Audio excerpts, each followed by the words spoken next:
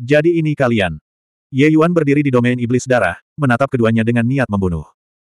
Mengapa dia datang ke Winxi City? Bukankah itu untuk kedua orang ini? Ya, itu kami. Si gila mengangguk. Domain setan darah melingkupi semua arah, dan kultivasi Ye Yuan jatuh ke alam surga kesembilan yang kecil.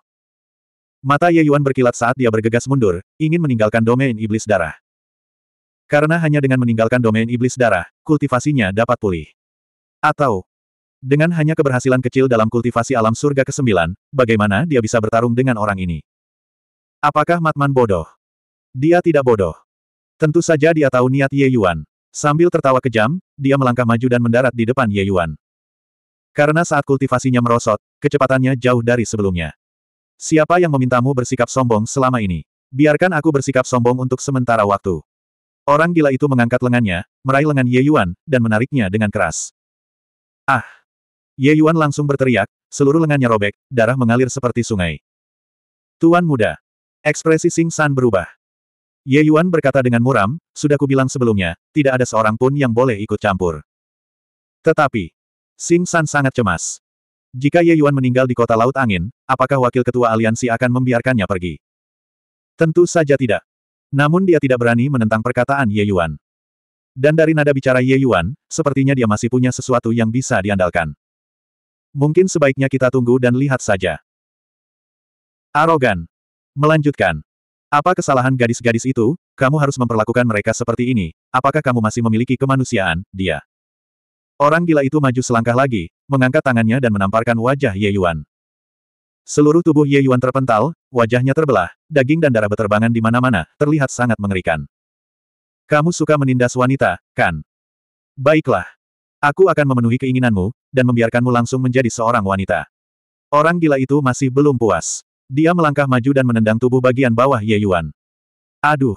Seluruh tubuh Ye Yuan tergeletak di udara, melolong seperti babi yang sedang disembelih. Itu saja. Memuaskan, terlalu memuaskan. Ketika orang-orang di kota di bawah melihat pemandangan ini, mereka semua memasang ekspresi puas. Binatang seperti ini seharusnya diperlakukan seperti ini. Aku rasa aku bukan orang baik. Banyak sekali wanita yang telah mati di tanganku. Tetapi, aku tidak pernah mempermalukan mereka seperti ini sebelumnya, terutama gadis-gadis yang tidak bersalah. Kau lebih buruk dari binatang terkutuk. Dari tindakanmu, aku bisa tahu betapa buruknya kakekmu, anjing tua itu, dan orang tuamu. Orang gila itu marah besar. Kekuatan ilahinya meraung saat dia melancarkan serangan telapak tangan ke kepala Ye Yuan. Tuan muda. Ekspresi Sing ketiga berubah dan dia hendak menyelamatkannya. Dentang. Tapi pada saat ini, disertai dengan suara dengungan pedang yang memekakkan telinga, seberkas cahaya pedang melesat keluar dari tubuh Ye Yuan, seketika menghancurkan domain iblis darah. Mengikuti dengan saksama. Energi pedang merobek langit dan menyerang orang gila itu. Hem. Orang gila itu terkejut dan menghindar tanpa berpikir. Cahaya pedang melesat melewati dia dan melesat ke angkasa. Gemuruh. Sebagian besar kekosongan itu langsung runtuh. Ini. Punggung orang gila itu dipenuhi keringat dingin. Cahaya pedang ini jelas merupakan artefak suci yang menantang surga. Untungnya, reaksinya cepat. Kalau tidak, dia akan gagal total. Tapi kalau dipikir-pikir, sebagai cucu wakil kepala, bagaimana mungkin dia hanya punya sarana seperti itu? Namun, Meskipun artefak ilahi yang menentang surga itu menakutkan, itu tetap saja merupakan objek eksternal. Hanya ketika kekuatan seseorang kuat, itu adalah kekuatan sejati. Wajah Ye Yuan berubah saat dia bangkit dan mengeluarkan pil. Itu adalah pil kehidupan ilahi dengan enam inti ki berbentuk naga. Apakah menurutmu tuan muda ini tidak tahu metodemu? Haha. Konyol. Kau benar-benar mengira tuan muda ini adalah anak yang suka bersenang-senang dan hanya tahu cara menindas orang lain. Biarkan aku memberitahumu, Tuan muda ini telah menyelidikimu segera setelah aku tiba di kota Laut Angin. Tuan muda ini tahu semua metodemu. Termasuk kamu dan artefak ilahi yang menentang surga. Mengetahui situasimu, Tuan muda ini tetap tinggal di kota Laut Angin untuk menunggumu. Apa kau tidak memikirkan apa pun? Wajah Ye Yuan yang memar memperlihatkan jejak ejekan. Namun tampaknya dia tertawa jahat, amat mengerikan. Saya percaya diri. Orang gila itu mengangkat bahu. Haha. Sepertinya kamu tidak bodoh. Itu benar. Jika aku tidak punya rasa percaya diri, apakah tuan muda ini berani tinggal di kota Laut Angin untuk menunggumu? Dua pemborosan, apakah kau benar-benar mengira kau tak terkalahkan? Jangan bicara tentang hal lain. Mari kita bicarakan pil kehidupan ilahi ini dengan enam kipil berbentuk naga. Apakah kalian berdua memilikinya? Ye Yuan tertawa bangga dan melambaikan pil kehidupan ilahi di tangannya. Hah! Orang gila itu tertegun. Qin Fei Yang juga tercengang. Apakah pil kehidupan dewa dengan kipil berbentuk enam naga sangat mengagumkan? Apakah ini memang layak untuk dipamerkan? Tentu saja. Pada akhirnya, dia hanyalah seorang anak yang suka hedonisme. Ye Yuan menelan pil kehidupan ilahi dalam satu tegukan, dan energi kehidupan yang agung segera menyembuhkan luka-luka di tubuhnya. Lengan yang robek juga segera direkonstruksi. Cemburu. Cemburu. Sayang sekali kalian, semut hina ini, hanya bisa melihat dengan rasa iri. Bersiaplah untuk putus asa. Ye Yuan tertawa terbahak-bahak dan melambaikan tangannya. Setelah munculnya cahaya pedang, sebuah pedang pertempuran berwarna gelap muncul di depannya. Orang-orang di kota bawah melihat ke arah pedang pertempuran itu, dan pupil mata mereka mengecil. Ini tampaknya merupakan puncak artefak ilahi yang menantang surga. Tidak bagus. Ye Yuan memiliki artefak dewa yang menantang surga, sedangkan Qin Fei Yang dan Matman hanya memiliki artefak dewa tingkat tinggi. Meskipun perbedaannya hanya satu level, perbedaan kekuatannya bagaikan langit dan bumi. Puncak artefak ilahi yang menantang surga. Orang gila itu menatap pedang perang, dan senyum tersungging di matanya. Qin Fei Yang juga memiliki senyum di matanya. Dia tidak hanya datang untuk mati, tetapi dia juga mengirimkan artefak ilahi yang menantang surga. Ye Yuan ini adalah orang baik. Membunuh. Ye Yuan berteriak dan meraih pedang perang. Dengan suara berdenting yang keras, pedang perang itu langsung pulih, dan ujung tajamnya menghancurkan segalanya saat menyerang orang gila. Orang gila itu menghindar berulang kali. Mengapa kamu menghindar? Bukankah kamu bilang kamu ingin menjadi sombong? Mari, tunjukkan padaku kesombonganmu. Ye Yuan tertawa terbahak-bahak. Saya takut. Siapakah yang dapat mengalahkan artefak dewa yang menantang surga? Kata orang gila itu dengan ekspresi panik. Setidaknya kamu punya kesadaran diri. Lalu terima kematianmu dengan patuh. Ye Yuan tersenyum bangga. Tanpa batasan dari domain setan darah, kultivasinya kembali ke tahap awal alam abadi, dan kecepatannya sudah seperti orang gila. Dia mengejar Matman dalam beberapa langkah dan menebasnya dengan ganas. Kamu benar-benar mulai merasa bangga. Orang gila itu tertegun. Seorang playboy adalah seorang playboy. Bagaimanapun juga, karakter seperti ini tidak dapat diubah. Memadamkan. Dia menggunakan teknik dukungan dan mundur seperti kilat. Pedang itu menebas tubuhnya, meninggalkan luka yang mengerikan. Jangan khawatir, aku tidak akan langsung membunuhmu. Aku akan mempermainkanmu perlahan-lahan sampai mati. Aku akan membuatmu putus asa, membuatmu menyesal, dan membuatmu tidak berani bersikap sombong lagi di kehidupanmu selanjutnya. Ye Yuan mencibir dan mengejar si gila. Dalam sekejap mata, tubuh Matman dipenuhi luka. Melihat kejadian itu, hati sang wali kota dan yang lainnya pun menjadi bergairah kembali. Mereka seharusnya tidak bahagia sebelumnya. Bagaimanapun, Ye Yuan adalah cucu dari wakil pemimpin, bagaimana mungkin dia tidak memiliki kartu truf? Sulit. Yang lainnya mendesah dalam hati. Si Gilamo ini sangat kuat, dan sulit untuk menemukan lawan di alam yang sama. Namun sekarang, dia berhadapan dengan cucu wakil pemimpin. Kekuatan diri sendiri sangatlah penting, tetapi kekuatan benda-benda eksternal juga dapat memainkan peranan mutlak. Puluhan napas berlalu. Orang gila itu mundur ke sisi Qin Fei Yang, berlumuran darah. Apa? Apakah kamu akan meminta bantuannya? Jangan buang-buang energi, karena meskipun kalian bekerja sama, hasilnya akan sama saja. Ye Yuan tertawa. Si gila dan Qin Fei Yang saling berpandangan, lalu tak dapat menahan diri untuk menggelengkan kepala dan tertawa. Orang ini terlalu sombong. Seberapa jauh mereka telah sampai? Apakah dia pikir dia akan menang? Orang gila itu mendongak ke arah Ye Yuan dan bertanya, hanya itu saja yang kamu punya. Apa? Ye Yuan yang sangat gembira, nampaknya tidak mengerti.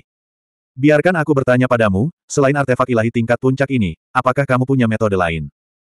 Kata orang gila. Ye Yuan tertegun sejenak, lalu mencibir, dengan pedang sihir pembantai, apakah aku memerlukan cara lain? Pedang sihir pembantaian. Petik 2. Orang gila itu bergumam dan mengangguk, tidak buruk, tidak buruk. Itu nama yang bagus, sangat cocok untukku. Aku akan menggunakannya di masa depan untuk membunuh sampah sepertimu. Hah! Ye Yuan menatap si gila dengan kaget. Sangat cocok untuknya. Dia ingin mencuri pedang sihir pembantai darinya. Apakah ada yang salah dengan otaknya? Apa yang sedang dipikirkannya? Mencuri pedang sihir pembantaian, apakah dia memiliki kemampuan itu? Orang gila itu melambaikan tangannya, lalu sebuah pil kehidupan ilahi pun muncul. Apa? Melihat pil kehidupan ilahi ini, semua orang tidak percaya. Satu, dua, lima, tujuh. Itu sebenarnya adalah pil kehidupan ilahi dengan tujuh inti ki berbentuk naga. Bagaimana ini mungkin? Pil kehidupan ilahi dengan tujuh inti ki berbentuk naga. Petik dua. Sing ketiga, penguasa kota, Zuo Tiansheng, dan tetua Yu juga sama. Tak perlu dikatakan, Ye Yuan bahkan lebih terkejut. Sebelumnya dia mengejek orang lain, namun dalam sekejap mata, pihak lain mengeluarkan pil kehidupan ilahi dengan tujuh ki inti berbentuk naga. Ini merupakan tamparan keras di wajahnya. Aku ingin tetap bersikap rendah hati, tetapi kau tidak tahu apa yang baik untukmu. Kau terus pamer di hadapanku dengan pil kehidupan ilahi yang mengandung enam ki inti berbentuk naga. Aku benar-benar tidak mengerti, apa bagusnya pil kehidupan ilahi dengan enam ki inti berbentuk naga. Orang gila itu menggelengkan kepalanya dan melemparkan pil kehidupan ilahi ke dalam mulutnya. Energi kehidupan dari inti ki berbentuk enam naga saja sudah sangat mengerikan, belum lagi inti ki berbentuk tujuh naga. Luka-luka di tubuh Matman bertambah cepat dengan kecepatan yang dapat dilihat dengan mata telanjang. Ini tidak mungkin. Petik 2. Ye Yuan menggelengkan kepalanya karena tidak percaya. Bagaimana semut bisa punya pil setingkat ini? Kamu terkejut. Jangan khawatir, masih banyak lagi yang akan datang. Orang gila itu tersenyum mengejek dan mengulurkan tangannya di depan Qin Fei Yang. Qin Fei yang tersenyum, dan dengan pikirannya, pedang sisik emas muncul. Orang gila itu meraih pedang sisik emas dan menatap Ye Yuan. Dia berkata dengan nada bercanda, lihat baik-baik, artefak ilahi yang menentang surga ini berada di level berapa. Ye Yuan menatap pedang sisik emas, matanya dipenuhi keterkejutan. Orang-orang di kota di bawah, termasuk Sing ketiga dan penguasa kota, semuanya memandang pedang sisik emas dengan curiga. Pedang sisik emas, bangun dan tunjukkan pada mereka. Kata orang gila. Diiringi suara berdenting keras, pedang sisik emas sepenuhnya dihidupkan kembali. Ki pedang menyapu ke segala arah, dan kekosongan segera runtuh dengan dahsyat. 3072. Ini, petik 2. Saat pedang sisik emas terbangun sepenuhnya, Ye Yuan bagaikan sambaran petir, pikirannya bergemuruh. Bukankah mereka mengatakan bahwa senjata suci mereka berdua hanya tingkat tinggi? Tetapi mengapa sekarang ia menjadi senjata dewa tingkat puncak? Itu benar. Ini adalah senjata dewa tingkat puncak, tidak kalah dengan pedang sihir pembantai di tangannya sama sekali. Sebagai cucu wakil pemimpin, kamu punya hak untuk memandang rendah orang lain. Sayangnya, kali ini Anda menemukan target yang salah. Orang gila itu tertawa, sambil memegang pedang sisik emas, dia menyerbu ke arah Ye Yuan. Tuan muda, petik 2. Sing San melangkah maju. Berdiri di sana dan jangan bergerak. Ye Yuan meraung. Tubuh Sing San menegang. Ye Yuan menatap si gila. Senjata dewa tingkat puncak, dan pil dewa kehidupan dengan tujuh kipil berbentuk naga. Ia merasa apa yang dilakukannya sebelumnya hanya seperti pertunjukan badut. Hal itu membuat amarah dan dendam dalam hatinya semakin tak terkendali. Dia tidak menginginkan bantuan Sing San. Karena dia ingin mencabik-cabik orang gila ini dengan tangannya sendiri, dan menghapus kehinaan ini. Dentang. Pedang sihir pembantaian terbangun. Keduanya saling menyerang dengan ganas. Tabrakan dua senjata dewa tingkat puncak sudah cukup untuk menghancurkan langit dan bumi. Kekosongan di atas kota Feng Hai runtuh sepotong demi sepotong. Keduanya bertarung hingga langit menjadi gelap, matahari, dan bulan kehilangan cahayanya. Jadi bagaimana jika kau memiliki senjata dewa tingkat puncak? Tubuhku akan menjadi semakin kuat, cepat atau lambat kau akan mati di tanganku. Ye Yuan meraung. Domain setan darah tidak ada gunanya sekarang. Sebab selama Matman mengaktifkan domain iblis darah, pedang sihir pembantaian akan langsung menghancurkannya. Dengan kata lain, Senjata suci itu kini telah kehilangan maknanya. Tentu saja. Kecuali senjata suci penentang surga. Lagi pula, senjata ilahi penentang surga dan senjata ilahi penentang surga termasuk dalam level yang sama. Ada juga teknik setan darah. Teknik setan darah meningkatkan kultivasi, kecuali ada metode khusus, seperti domain Dewa Naga, yang dapat membuat teknik setan darah tidak efektif, jika tidak maka tidak akan dipotong secara paksa. Tetapi sekarang, bahkan jika Matman mengaktifkan teknik setan darah, itu tidak akan berarti banyak. Orang gila itu menatap Ye Yuan. Memang. Setelah Ye Yuan terluka, tubuhnya perlahan-lahan menjadi lebih kuat. Dia pada dasarnya dapat menyimpulkan bahwa seni ilahi yang memungkinkan Ye Yuan menjadi kuat pastilah merupakan semacam artefak ilahi yang menentang surga. Sejujurnya, jika itu orang lain, mereka pasti sudah mati di tangan Ye Yuan. Tapi tetap saja sama. Kali ini, Ye Yuan menemukan target yang salah. Meskipun Frenzy tidak memiliki latar belakang keluarga kuat seperti Ye Yuan, namun sarana yang dimilikinya tidak akan kurang dari Ye Yuan. Dentang. Saat cahaya kemasan melonjak, Sky Piercer muncul. Ini adalah seni ilahi yang menantang surga. Sing ketiga bergumam. Pedang sisi kemas menyerang pedang ajaib, sedangkan tombak Fantian menyerang Ye Yuan. Hanya sebuah seni ilahiyah tingkat rendah yang menentang surga ingin mengguncang tubuh fisikku saat ini. Rasa jijik di wajah Ye Yuan semakin dalam. Pedang pembantaian ajaib beradu dengan pedang sisik emas. Saat kedua senjata ilahi tingkat puncak yang menentang surga itu beradu, ketajaman yang dahsyat meletus. Pada saat yang sama, Ye Yuan mengangkat lengannya dan benar-benar menamparkan tombak itu dengan tangan kosong. Ini karena tubuh fisik dan kekuatannya telah ditingkatkan ke tingkat yang menantang surga. Karena itu, sekalipun itu adalah tombak yang terbentuk dari seni ilahi yang menantang surga, dia tidak takut sama sekali. Yang paling banyak, tangan besar Ye Yuan dan tombak itu beradu, sebuah kekuatan mengerikan melonjak dan tombak itu benar-benar hancur. Ini, petik 2. Frenzy Linglung. Tubuh fisik dan kekuatan Ye Yuan ini tanpa disadari telah meningkat ke tingkat senjata ilahi yang menentang surga tingkat menengah. Haha, petik 2. Apa artinya ini? Tubuh fisik dan kekuatanku akan terus tumbuh lebih kuat. Sekarang aku tidak takut untuk memberitahumu, ini adalah seni ilahi tingkat puncak yang menantang surga. Dengan kata lain, petik 2. Tubuh fisik dan kekuatan saya pada akhirnya akan mencapai tingkat puncak. Saat itu, aku bahkan tidak memerlukan pedang ajaib pembantaian, tubuh fisik ini saja sudah cukup untuk menghancurkanmu berkeping-keping. Ye Yuan tertawa gila. Itu sebenarnya adalah seni ilahi tingkat puncak yang menantang surga. Petik 2. Frenzy bergumam. Seni ilahiyah yang menentang surga yang dia kuasai hanyalah seni ilahiyah yang menentang surga tingkat rendah. Dibandingkan dengan seni ilahiyah yang menentang surga tingkat puncak, ada perbedaan beberapa tingkat. Dan memang benar seperti yang dikatakan Ye Yuan, saat tubuh fisiknya mencapai tingkat puncak senjata ilahi yang menentang surga, dia dapat sepenuhnya menghadapi pedang sisik emas dengan tangan kosong. Izinkan saya bertanya, apakah Anda tidak akan pernah putus asa? Haha, petik 2. Ye Yuan tertawa keras. Putus asa. Frenzy menyeringai. Belum lagi tubuh fisik dan kekuatan Ye Yuan belum mencapai level puncak senjata ilahi yang menantang surga, bahkan jika sudah mencapai level itu, dia tidak akan takut. Karena kini, bukan hanya pedang sisik emas, kapak, dan busur ilahi matahari terbenam, senjata ilahi penentang surga ini juga telah berevolusi ke tingkat senjata ilahi penentang surga tingkat puncak. Ketika semuanya dipanggil, puluhan senjata ilahi yang menentang surga tingkat puncak akan dihancurkan seperti rumput kering. Namun, tidak perlu melakukan itu. Dia tidak mau repot-repot menggunakan senjata ilahi yang menantang surga ini untuk seorang playboy seperti dia. Jangan takut, Tuan muda ini berkata sebelumnya, aku tidak akan membunuhmu saat itu juga, kamu masih mempunyai kesempatan untuk berjuang, lanjutkan. Ye Yuan tersenyum mengejek saat dia menyerang Frenzy lagi. Kau, ah, benar-benar menunjukkan ciri-ciri playboy sepenuhnya. Dengan sedikit keuntungan, Anda mulai pamer. Aku cuma ingin tahu, apa yang kamu pamerkan. Frenzy melambaikan tangannya, niat membunuh yang mengerikan meletus, di saat berikutnya, pedang berwarna merah darah muncul. Hukum pembantaian terdalam kedua, pedang dewa pembunuh. Dentang. Pedang dewa pembunuh merobek langit, membawa serta ketajaman apokaliptik saat menebas ke arah Ye Yuan. Sudah menjadi pengetahuan umum bahwa kedalaman hukum dapat bersaing dengan teknik ilahi yang menantang surga. Semakin tinggi kedalamannya, semakin kuat pula kekuatannya. Bahkan yang paling mendalam pun akan melampaui teknik ilahi yang menantang surga. Pedang Dewa Pembunuh termasuk ke dalam tingkatan kedua yang mendalam, daya mematikannya sudah sebanding dengan teknik ilahi yang menantang surga tingkat menengah. Dan tubuh fisik Ye Yuan sudah mencapai tingkat menengah, tapi meski begitu, luka segera muncul di tubuhnya. Apa? Lukanya tidak dalam, hanya bisa disebut luka dangkal, tetapi meski begitu, Ye Yuan tetap terkejut. Itu benar-benar dapat melukai tubuh fisiknya. Ini tampaknya. Sing San menatap pedang Dewa Pembunuh dengan kaget, matanya tiba-tiba bergetar saat dia berteriak, Tuan muda, hati-hati, ini adalah hukum pembantaian tingkat kedua, pedang dewa pembunuh. Apa? Hukum penyembelihan yang kedua. Bagaimana ini mungkin? Dia baru berada di tahap awal alam abadi.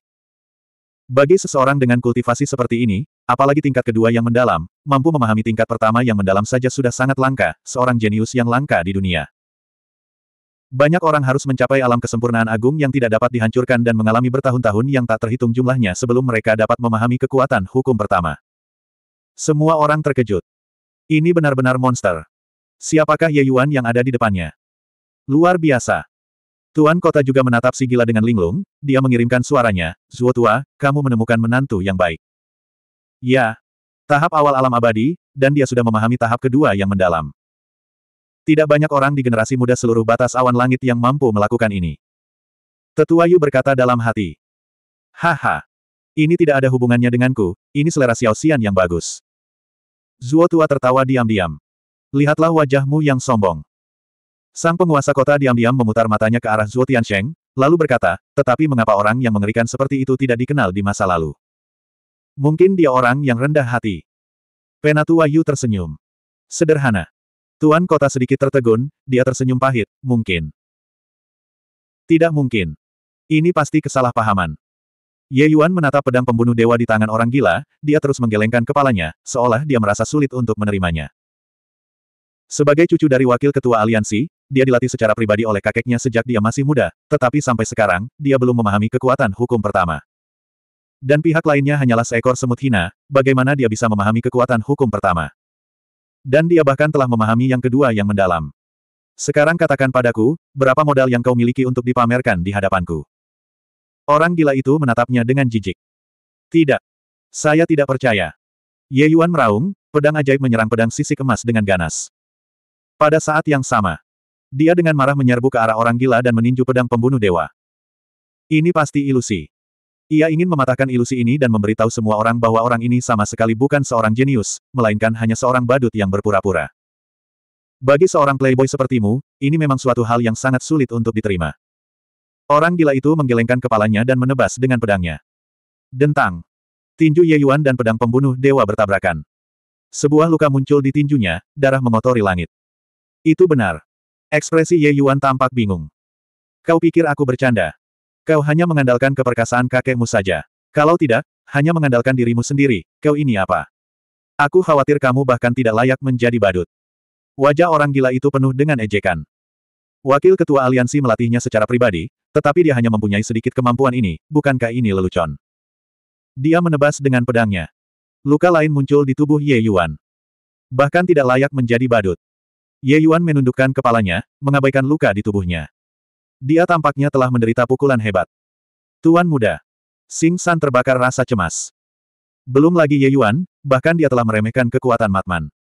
Menindas pria dan wanita, melakukan segala jenis kejahatan. Orang-orang sepertimu, hidup di dunia ini hanya buang-buang udara. Tebuslah dosa-dosamu. Wajah si orang gila itu dipenuhi rasa jijik, pedang pembunuh dewa berkelebat dan menebas ke arah kepala Ye Yuan. Tapi pada saat ini, Ye Yuan tiba-tiba mengangkat kepalanya, lengannya terjulur dan meraih pedang pembunuh dewa. Tuan muda ini suka menindas pria dan wanita, apa yang bisa kamu lakukan pada tuan muda ini? Ye Yuan tersenyum sinis, suara keras tiba-tiba terdengar dari dalam tubuhnya. Kekuatan yang mengerikan tiba-tiba meraung, saat dia mengepalkan tangannya, pedang pembunuh dewa langsung hancur berkeping-keping. Tidak bagus. Tubuh fisik dan kekuatannya telah meningkat ke tingkat artefak dewa tingkat tinggi. Sang penguasa kota berseru dalam hati. Hati Zuo Tiansheng dan tetua Yu juga ikut tenggelam. Sing San menghela napas lega. Kekuatan yang kedua sangat dalam dan setara dengan artefak dewa tingkat menengah. Dan sekarang, tubuh fisik dan kekuatan Tuan Muda telah meningkat lagi, sudah setara dengan artefak dewa tingkat tinggi. Dengan perbedaan satu alam kecil, orang gila ini jelas bukan lawan Tuan Muda.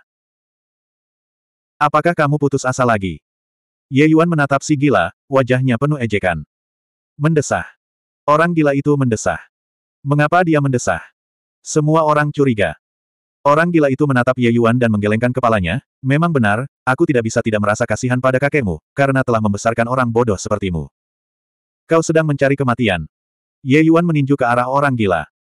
Bukankah begitu? Aku berani datang ke kota laut angin tanpa rasa takut. Apakah menurutmu aku mengandalkan keberanianku? Salah. Itu kekuatan. Orang gila itu meraung, hukum pembantaian melonjak keluar, berubah menjadi badai berwarna darah, memancarkan aura ganas penghancur dunia, bersiul ke arah Ye Yuan. 3073. Pada saat ini, seluruh dunia diselimuti aura pembunuh. Orang gila itu bagaikan dewa kematian, berdiri tinggi di angkasa dengan tatapan acuh tak acuh yang kejam. Awan yang bergulung-gulung di langit tampak diwarnai darah, memancarkan aura yang mengejutkan. Ini. Mata sing ketiga membelalak karena marah. Jantungnya yang baru saja tenang, bangkit kembali. Mustahil. Ini pasti mimpi.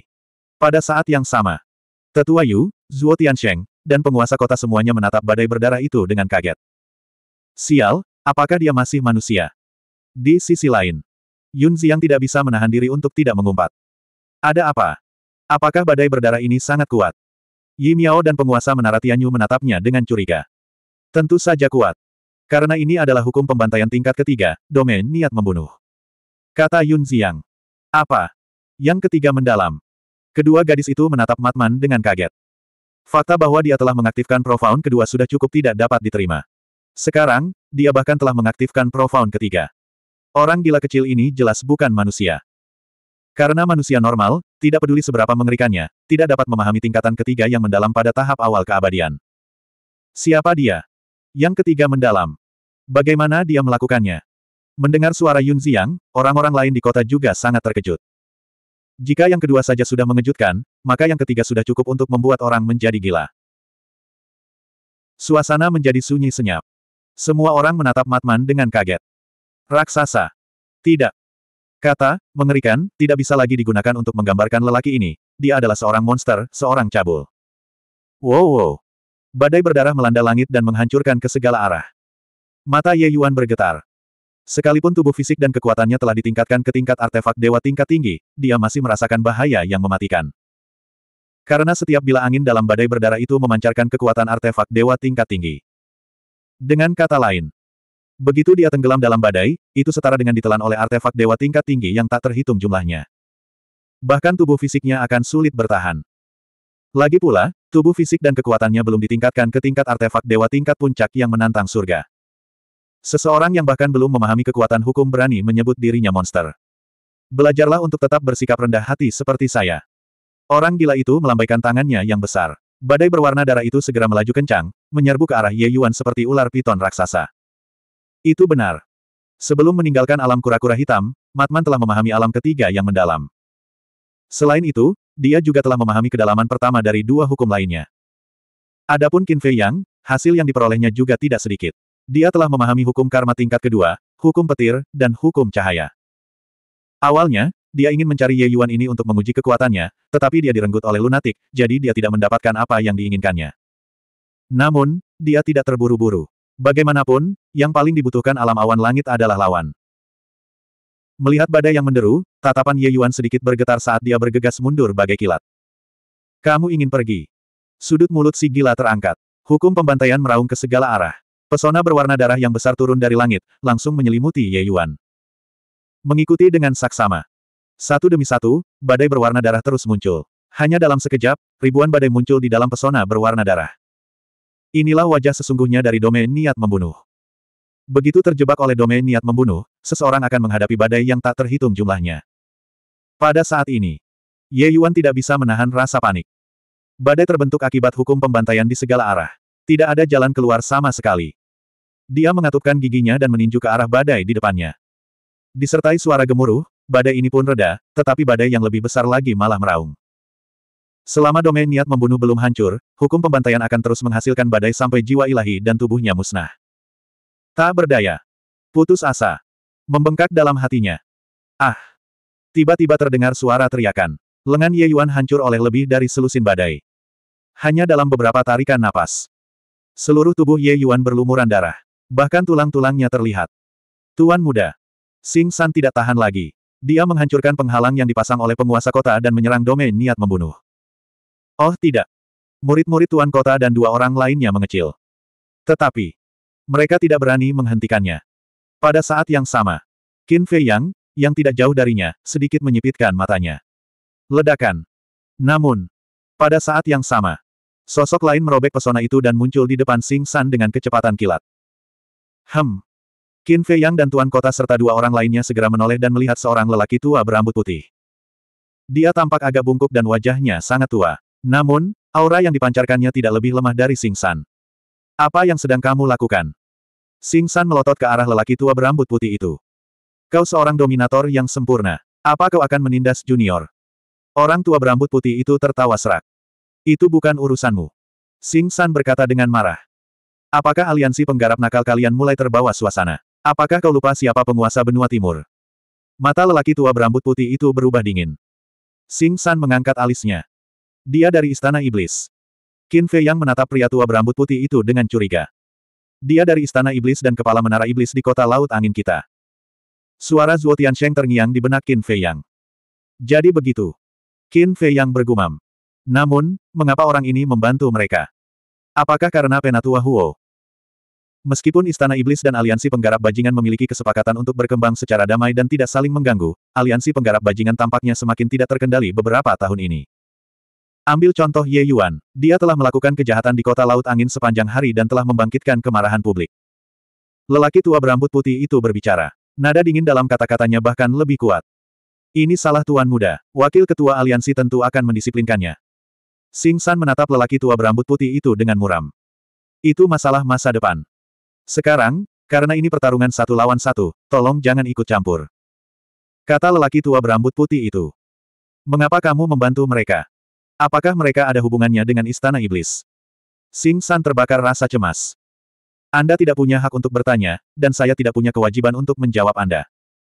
Perkataan lelaki tua berambut putih itu samar-samar dan membuat imajinasi orang menjadi liar. Sing San mengepalkan tangannya rat-rat. Ah! Tiba-tiba. Teriakan menyakitkan keluar dari domain niat membunuh. Sing San segera menoleh dan melihat bila angin yang tak terhitung jumlahnya mencabik-cabik tubuh Ye Yuan dan menembus perut bagian bawahnya. Laut kinya akhirnya hancur. Begitu laut kinya hancur, aura Ye Yuan langsung tenggelam. Kekuatan tubuh fisiknya dan kekuatannya juga segera turun ke keadaan semula. Tanpa tubuh fisik yang kuat, badai berwarna darah itu hampir seketika mencabik-cabik tubuhnya. Tuan muda. Sing San melayangkan pukulan ke arah lelaki tua berambut putih itu dan meraung, minggir. Orang tua berambut putih itu tidak mundur sedikit pun dan melayangkan telapak tangan. Tinju dan telapak tangan bertemu dalam sekejap. Keduanya mundur selangkah dan kekuatannya seimbang. Sang pembunuh pedang ajaib juga ingin menyelamatkan Ye Yuan namun ditahan oleh pedang sisik emas dan tidak bisa melarikan diri. Qin Fei Yang menatap mereka berdua dan mengirim transmisi suara ke Frenzy, kakak senior, jangan bunuh dia dulu. Hem. Frenzy hendak membunuh Ye Yuan ketika mendengar kata-kata Qin Fei Yang. Dia sedikit terkejut dan kemudian menoleh untuk melihat Qin Fei Yang dengan curiga. Bawa dia ke sini. Qin Fei Yang berpikir dalam hati. Frenzy mengangguk dan meraih Ye Yuan dan mendarat di samping Qin Fei Yang. Domain niat membunuh juga menghilang. Saat ini, hanya separuh tubuh Ye Yuan yang tersisa. Dia meneteskan darah dan tampak sangat menyedihkan. Pada saat yang sama, pedang sisik emas juga terpisah dari pedang pembunuh sihir.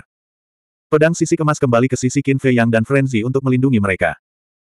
Pedang ajaib pembunuh melayang di depan mereka, auranya terkunci pada Qin Fei Yang dan Frenzy. Namun Qin Fei Yang dan Frenzy tidak peduli.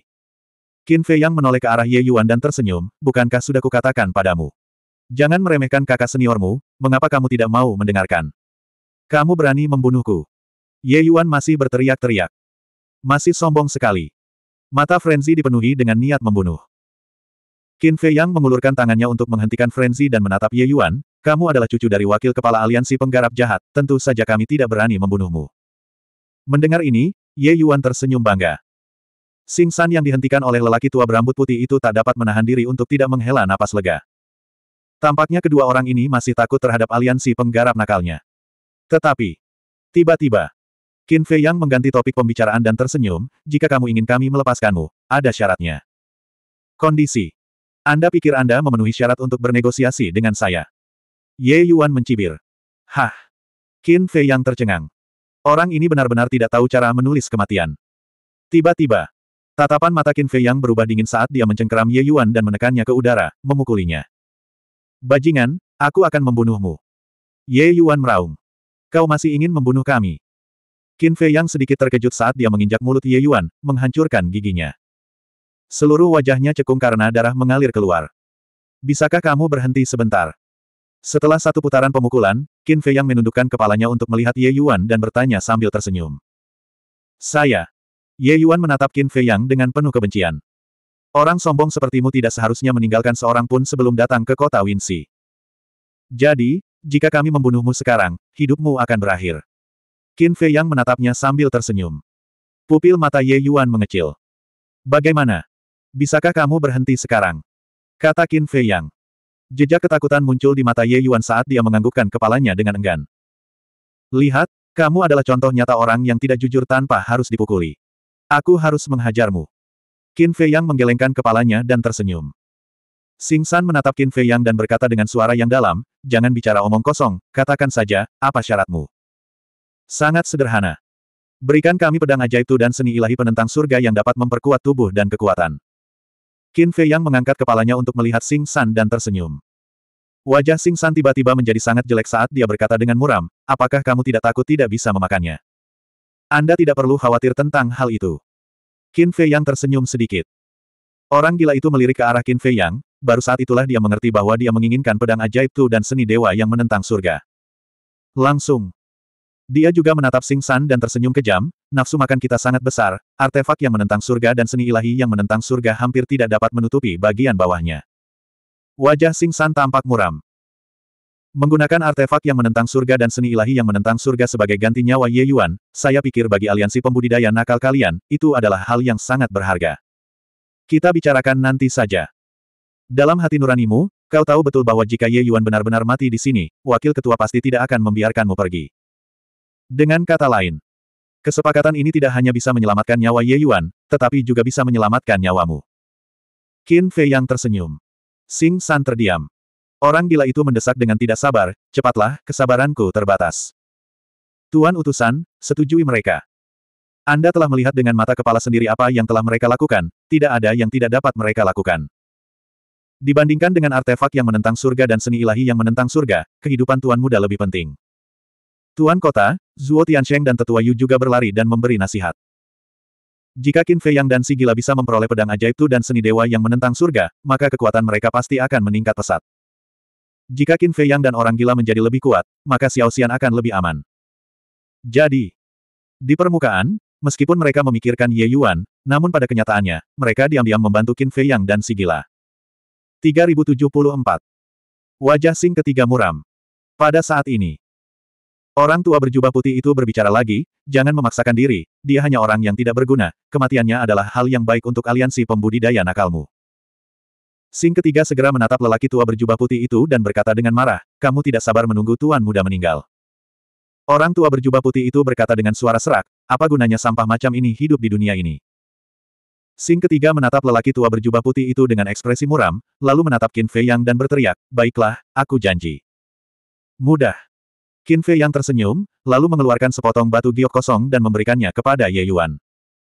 Sing ketiga menatap Ye Yuan dan mendesah, Tuan muda, berikan pada mereka.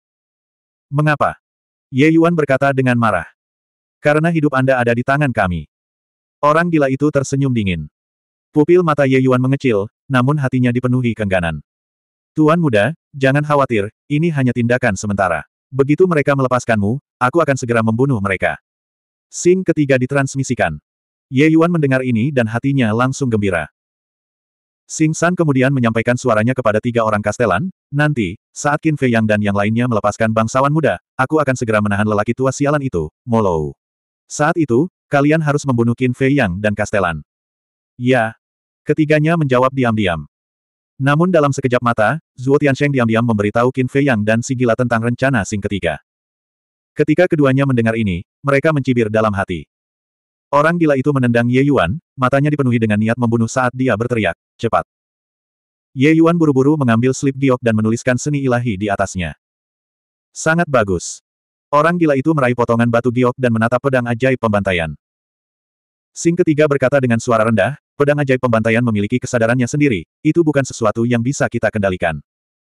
Dengan kata lain, jika Anda ingin membawanya, itu bergantung pada kemampuan Anda sendiri. Bibir si orang gila melengkung ke atas, menatap pedang ajaib pembantai dan berkata, percayalah, selama kamu mengikuti kami, aku jamin kamu akan berubah menjadi senjata ilahi penguasa. Apa? Berubah menjadi senjata penguasa. Mendengar ini, Sing ketiga terdiam sejenak, lalu menatap ke arah si gila dan Qin Fei yang seakan-akan dia sedang menatap orang idiot. Berani sekali dia mengucapkan kata-kata sebesar itu. Pembunuh pedang ajaib pun tidak mempercayainya. Bahkan Zuo Tiansheng dan yang lainnya menganggap itu lelucon. Orang gila itu berkata, bagaimana kalau begini? Kami akan memberimu tempat dulu, baru kemudian kau bisa menentukan pilihan. Baiklah. Suara pembunuh pedang ajaib terdengar dan langsung mendarat di samping mereka berdua. Orang gila berkata, hapus dulu kontrak darahnya. Biasanya, tidak seorang pun mampu mengendalikan senjata suci yang menentang surga seperti pedang sihir pembunuh. Asal mereka mau, dia bisa menghapus kontrak darah. Tentu saja. Jika orang tersebut adalah orang yang tingkat kultivasinya lebih tinggi dari mereka, tentu ceritanya akan berbeda. Misalnya, eksistensi tertinggi seperti Tetua Huo dan Tetua Hai. Pada level mereka, selain senjata berdaulat, tidak ada senjata suci lain yang dapat lepas dari kendali mereka. Pemilik pedang ajaib saat ini adalah Ye Yuan. Berdasarkan kultivasi Ye Yuan, secara alami mustahil untuk mengendalikannya. Setelah orang gila berkata demikian, si pembantai pedang ajaib merenung sejenak sebelum menghapus kontrak darah Ye Yuan.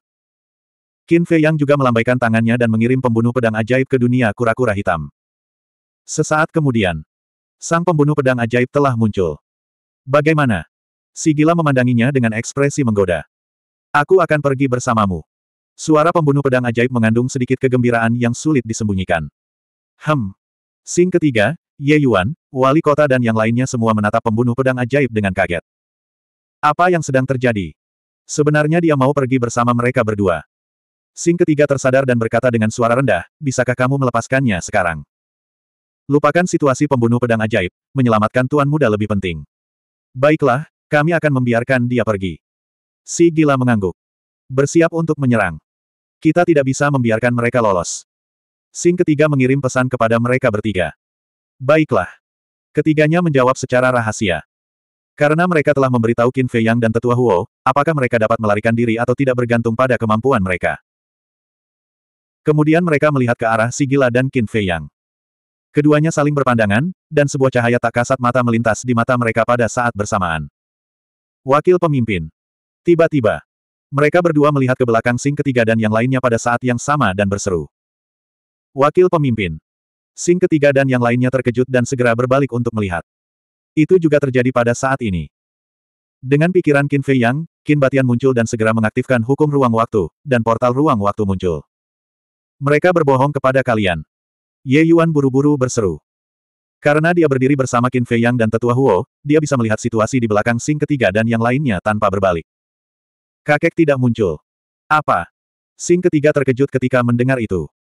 Namun di saat yang bersamaan, sorot mata Matman dipenuhi oleh hasrat membunuh, dan dia menghantamkan telapak tangannya ke arah kepala Ye Yuan. Ah! Dengan teriakan melengking, kepala Ye Yuan meledak seperti semangka, dan daging serta darah berceceran di mana-mana. Jiwa ketuhanannya juga dimusnahkan.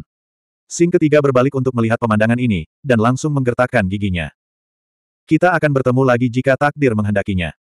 Orang gila itu melambaikan tangannya dan tersenyum. Qin Batian melambaikan tangannya, menyapu mereka berdua, dan bergegas ke portal ruang waktu tanpa melihat ke belakang, dan menghilang dalam sekejap. Bajingan! Sing ketiga meraung dan dengan gila menyerbu menuju portal. Zuo Tiansheng dan dua orang lainnya saling berpandangan, juga tampak hancur, lalu mengikuti Sing ketiga. Tapi pada saat ini, orang tua berambut putih itu melambaikan tangannya, dan gelombang kekuatan suci meledak menuju portal. Portal itu langsung runtuh dan menghilang dalam kehampaan. Dengan cara ini, Sing ketiga tidak dapat mengejar mereka bahkan jika dia mau. Anda. Sing ketiga segera marah besar dan berbalik menatap lelaki tua berambut putih itu. Mereka telah berbuat baik, kita tidak bisa membiarkan orang baik kecewa, bukan? Orang tua berambut putih itu tersenyum tipis. Semua orang di kota di bawah memandang lelaki tua berambut putih itu dengan kagum. Karena lelaki tua berambut putih itu melakukan apa yang tidak berani mereka lakukan. Mereka juga tidak menyangka bahwa Qin Fei Yang dan Penatua Huo akan begitu berani, dan benar-benar membunuh Ye Yuan. Mereka awalnya mengira bahwa mereka berdua akan membiarkan Ye Yuan pergi setelah mendapatkan senjata dewa dan seni dewa. Bagaimanapun, dia adalah cucu wakil pemimpin. Untuk membunuhnya, dibutuhkan keberanian yang besar. Dan mulai sekarang, mereka akan diburu oleh aliansi para pembudidaya nakal. Setelah mempertimbangkan untung ruginya, membiarkan Ye Yuan pergi adalah pilihan paling bijaksana. Tetapi mereka tidak menyangka bahwa mereka berdua tidak takut sama sekali. Mereka tidak hanya membunuh Ye Yuan, tetapi mereka juga mendapat dua senjata dewa dan seni dewa yang kuat, membunuh dua burung dengan satu batu. Keberanian semacam ini sungguh mengagumkan. Sing ketiga menatap lelaki tua berambut putih itu, dan berkata, apakah Istana Iblis berencana untuk menyatakan perang terhadap aliansi pembudidaya nakal? Menyatakan perang. Orang tua berambut putih itu sedikit terkejut, lalu berkata sambil tertawa serak, apakah aliansi pembudidaya nakal punya kemampuan untuk melawan istana iblis? Sing ketiga mengepalkan tangannya rata-rat. Jangan terlalu melebih-lebihkan dirimu sendiri. Meskipun aliansi pembudidaya nakal telah tumbuh lebih kuat, tetapi kamu tahu kesenjangan antara kami dan istana iblis. Pria tua berambut putih itu memiliki sedikit rasa jijik di matanya, dan berbalik untuk pergi setelah mengatakan itu. Ikut aku, bunuh dia. Sing ketiga berteriak. Ledakan. Auranya terpancar keluar.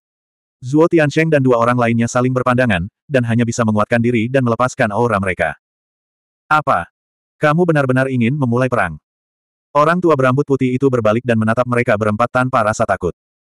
Anda harus memberi kami penjelasan tentang kematian Tuan Muda. Sing ketiga berjalan menuju lelaki tua berambut putih itu selangkah demi selangkah. Qin Fei Yang dan Ye Yuan telah melarikan diri, jadi dia hanya bisa mencari lelaki tua berambut putih itu, atau dia tidak akan bisa melaporkan kembali. Penjelasan. Orang tua berambut putih itu menggelengkan kepalanya dan tersenyum, lalu membungkuk, selamat datang, tetua Huo. Penatua Huo. Mata Sing ketiga bergetar. Memadamkan. Detik berikutnya, sosok merah menyala muncul di depan lelaki tua berambut putih itu. Siapa lagi kalau bukan Penatua Huo? Melihat ke arah tetua Huo, bukan hanya Sing ketiga, tetapi juga penguasa kota dan dua orang lainnya tidak dapat menahan gemetar. Tetua Huo meletakkan kedua tangannya di belakang punggungnya sambil mengamati keempat orang itu. Akhirnya, tatapannya tertuju pada Sing ketiga, dan dia berkata, katakan padaku, penjelasan apa yang kau butuhkan dariku. Sing ketiga menatap tetua Huo dengan takut, tidak berani berbicara. Katakan sesuatu. Penatua Huo melangkah maju, dan aura ilahi yang luas menyebar. Engah. Sing ketiga segera memuntahkan seteguk darah dan terpental, wajahnya pucat. Sangat kuat. Semua orang terkejut. Hanya aura dewata saja sudah cukup untuk melemparkan Sing ketiga. Apakah kamu masih butuh penjelasan? Penatua Huo bertanya sambil tersenyum. Tidak perlu, tidak perlu. Sing ketiga buru-buru melambaikan tangannya. Lalu kenapa kamu tidak kabur? Tetua Huo berteriak. Sing ketiga membawa tubuh Ye Yuan dengan panik dan mulai berteleportasi menggunakan altar. Apa ini? Beraninya kau meminta penjelasan dari Demon Hall. Tetua Huo tampak sangat mendominasi saat menatap Zuo Tiansheng dan dua orang lainnya. Ketiganya buru-buru menundukkan kepala, tidak berani menatap langsung ke arahnya. Mereka diam-diam mengeluh dalam hati. Mengapa orang tua ini ada di sini? Namun, mereka tidak tahu bahwa Penatua Huo tidak hanya ada di sana, tetapi dia telah mengikuti Qin Fei Yang dan Zuo Tiansheng. Karena itu, Penatua Huo telah melihat semua yang mereka lakukan.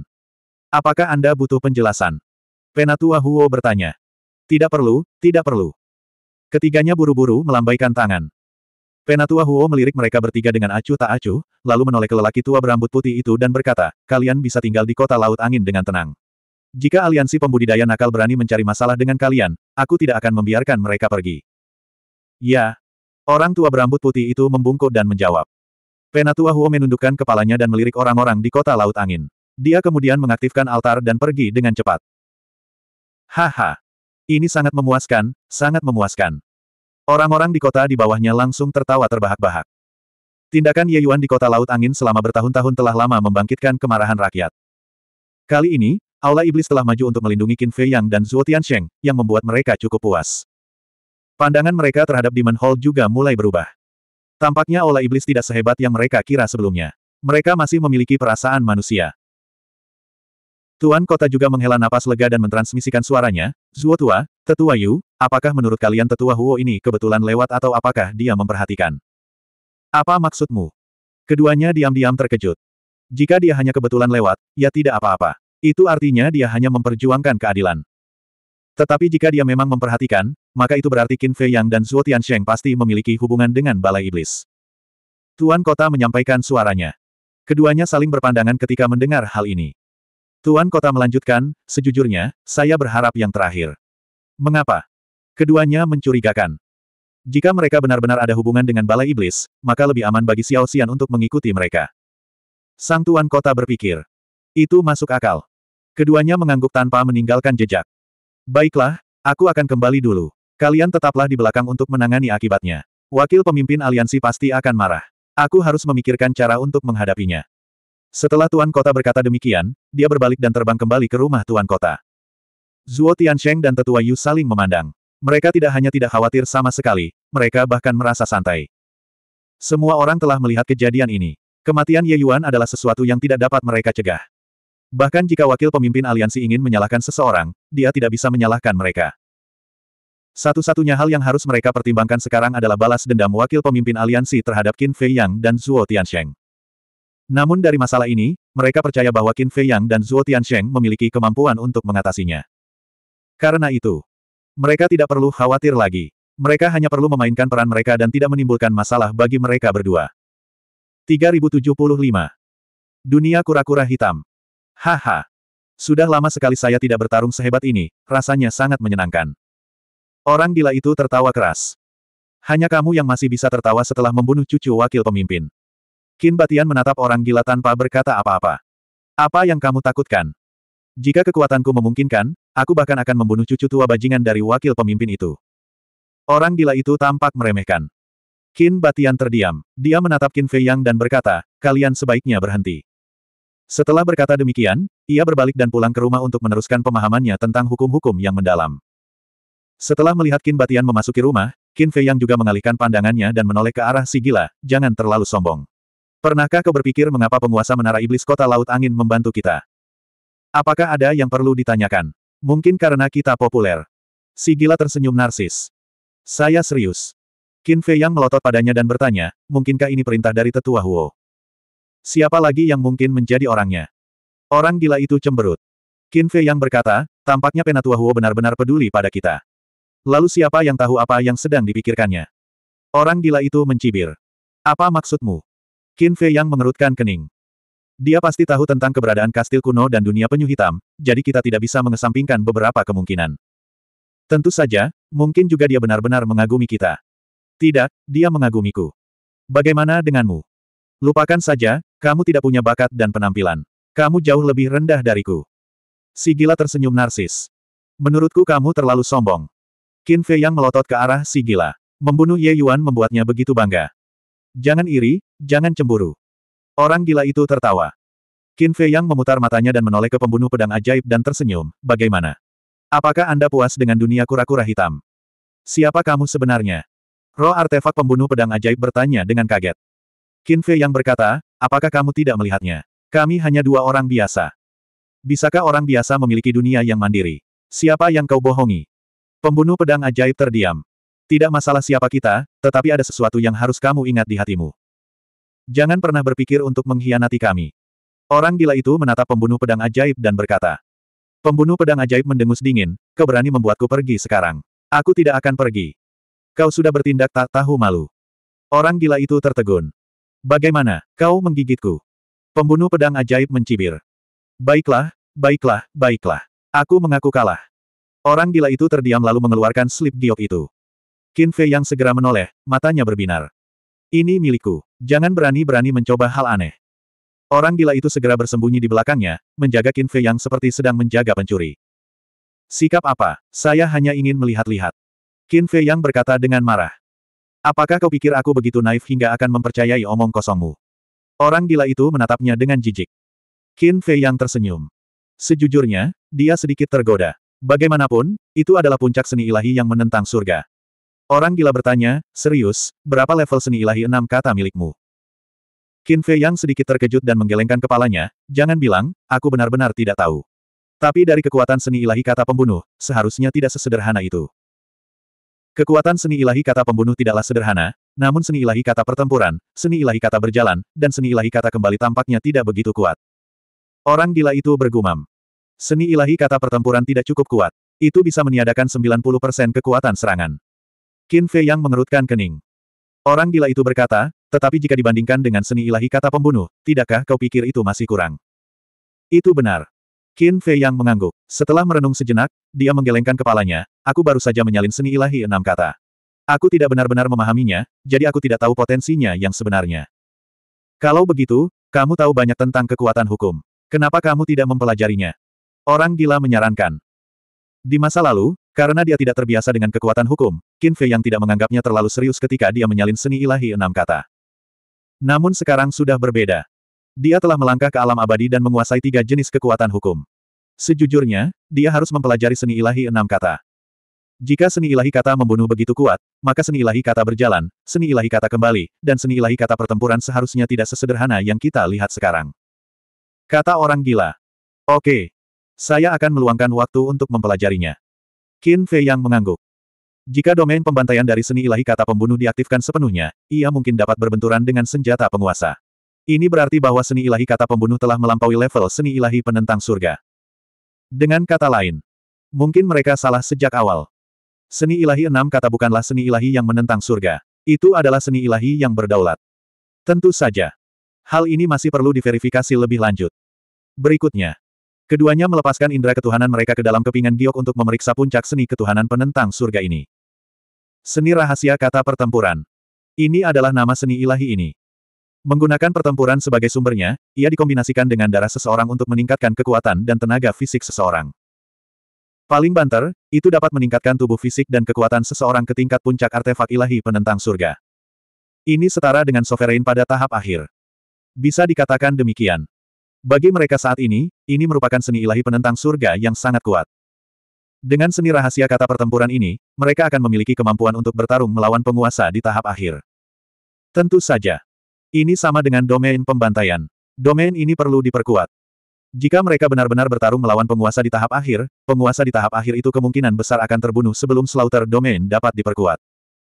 Karena itu, Sebelum benar-benar bertarung melawan seorang penguasa di tahap akhir, mereka harus menggunakan metode lain untuk memperkuat tubuh fisik dan kekuatan mereka hingga ke puncak artefak ilahi penentang surga. Dibandingkan dengan zona pembantaian, saya merasa seni rahasia pertempuran sedikit lebih sederhana. Setidaknya kita tidak harus membunuh orang tak bersalah dan menghisap darah mereka. Kata orang gila. Apakah aku sekarang punya kemampuan untuk membunuh orang tak bersalah? Qin Fei yang mengerutkan kening. Saat ini, makhluk hidup di dunia kura-kura hitam tengah menyumbangkan darah mereka, jadi tidak perlu lagi membunuh mereka dan mengumpulkan darah mereka seperti sebelumnya. Sama seperti sekarang. Makhluk hidup di dunia penyu hitam selalu menyediakan darah, sehingga lautan darah di wilayah barat telah terisi kembali. Dengan kata lain, jika dia menghadapi senjata sovereign sekarang, dia bisa mengaktifkan Slaughter Domain lagi. Maksudku adalah sebelumnya. Si gila memutar matanya dan menyerahkan kepingan giok itu kepada Qin Fei Yang. Jika kau menginginkannya, aku akan memberikannya padamu. Sangat murah hati. Qin Fei Yang sedikit terkejut, lalu terkekeh. Kalau begitu aku tidak akan bersikap sopan. Kamu sungguh menginginkannya. Wajah si gila menjadi gelap. Dia buru-buru menyingkirkan slip giok dan menendang Qin Fei Yang. Aku tahu kamu tidak akan mau. Baiklah, ini rampasan perangmu. Bagaimana aku bisa bertarung denganmu untuk mendapatkannya? Lagi pula, dibandingkan denganku, seni rahasia kata pertempuran ini lebih cocok untuk seorang maniak pertempuran sepertimu. Qin Fei yang menggelengkan kepalanya. Setidaknya kamu punya hati nurani. Si gila terkekeh, lalu berbalik dan berlari ke dalam istana untuk merenung dalam keheningan. Titik. Qin Fei Yang, si gila mo, keluarlah. Tiba-tiba, sebuah suara tua terdengar dari luar. Hem. Qin Fei Yang tercengang. Bukankah ini suara penatua Huo? Bagaimana orang tua ini tahu mereka bersembunyi di sini? Memadamkan. Qin Fei yang meninggalkan dunia penyu hitam dan melihat tetua Huo berdiri di kehampaan di depannya. Aku tahu kalian masih bersembunyi di sini. Penatua Huo tertawa. Kau mengikuti kami. Qin Fei yang mengerutkan kening. Batuk-batuk. Penatua Huo terbatuk datar dengan ekspresi canggung. Jangan membuatnya terdengar begitu buruk. Aku hanya khawatir dengan kalian. Sudut mulut Qin Fei yang berkedut. Hanya lelaki tua di depannya ini yang bisa membuatnya terdengar begitu mulia. Di mana si gila Mo? Penatua Huo melirik ke belakang Qin Fei Yang dan bertanya. Dalam pengasingan. Kata Qin Fei Yang. Kamu benar-benar pekerja keras. Penatua Huo tersenyum lega. Tentu saja, ada begitu banyak ahli di alam awan langit. Jika kita tidak bekerja keras, bukankah kita akan diinjak-injak oleh mereka?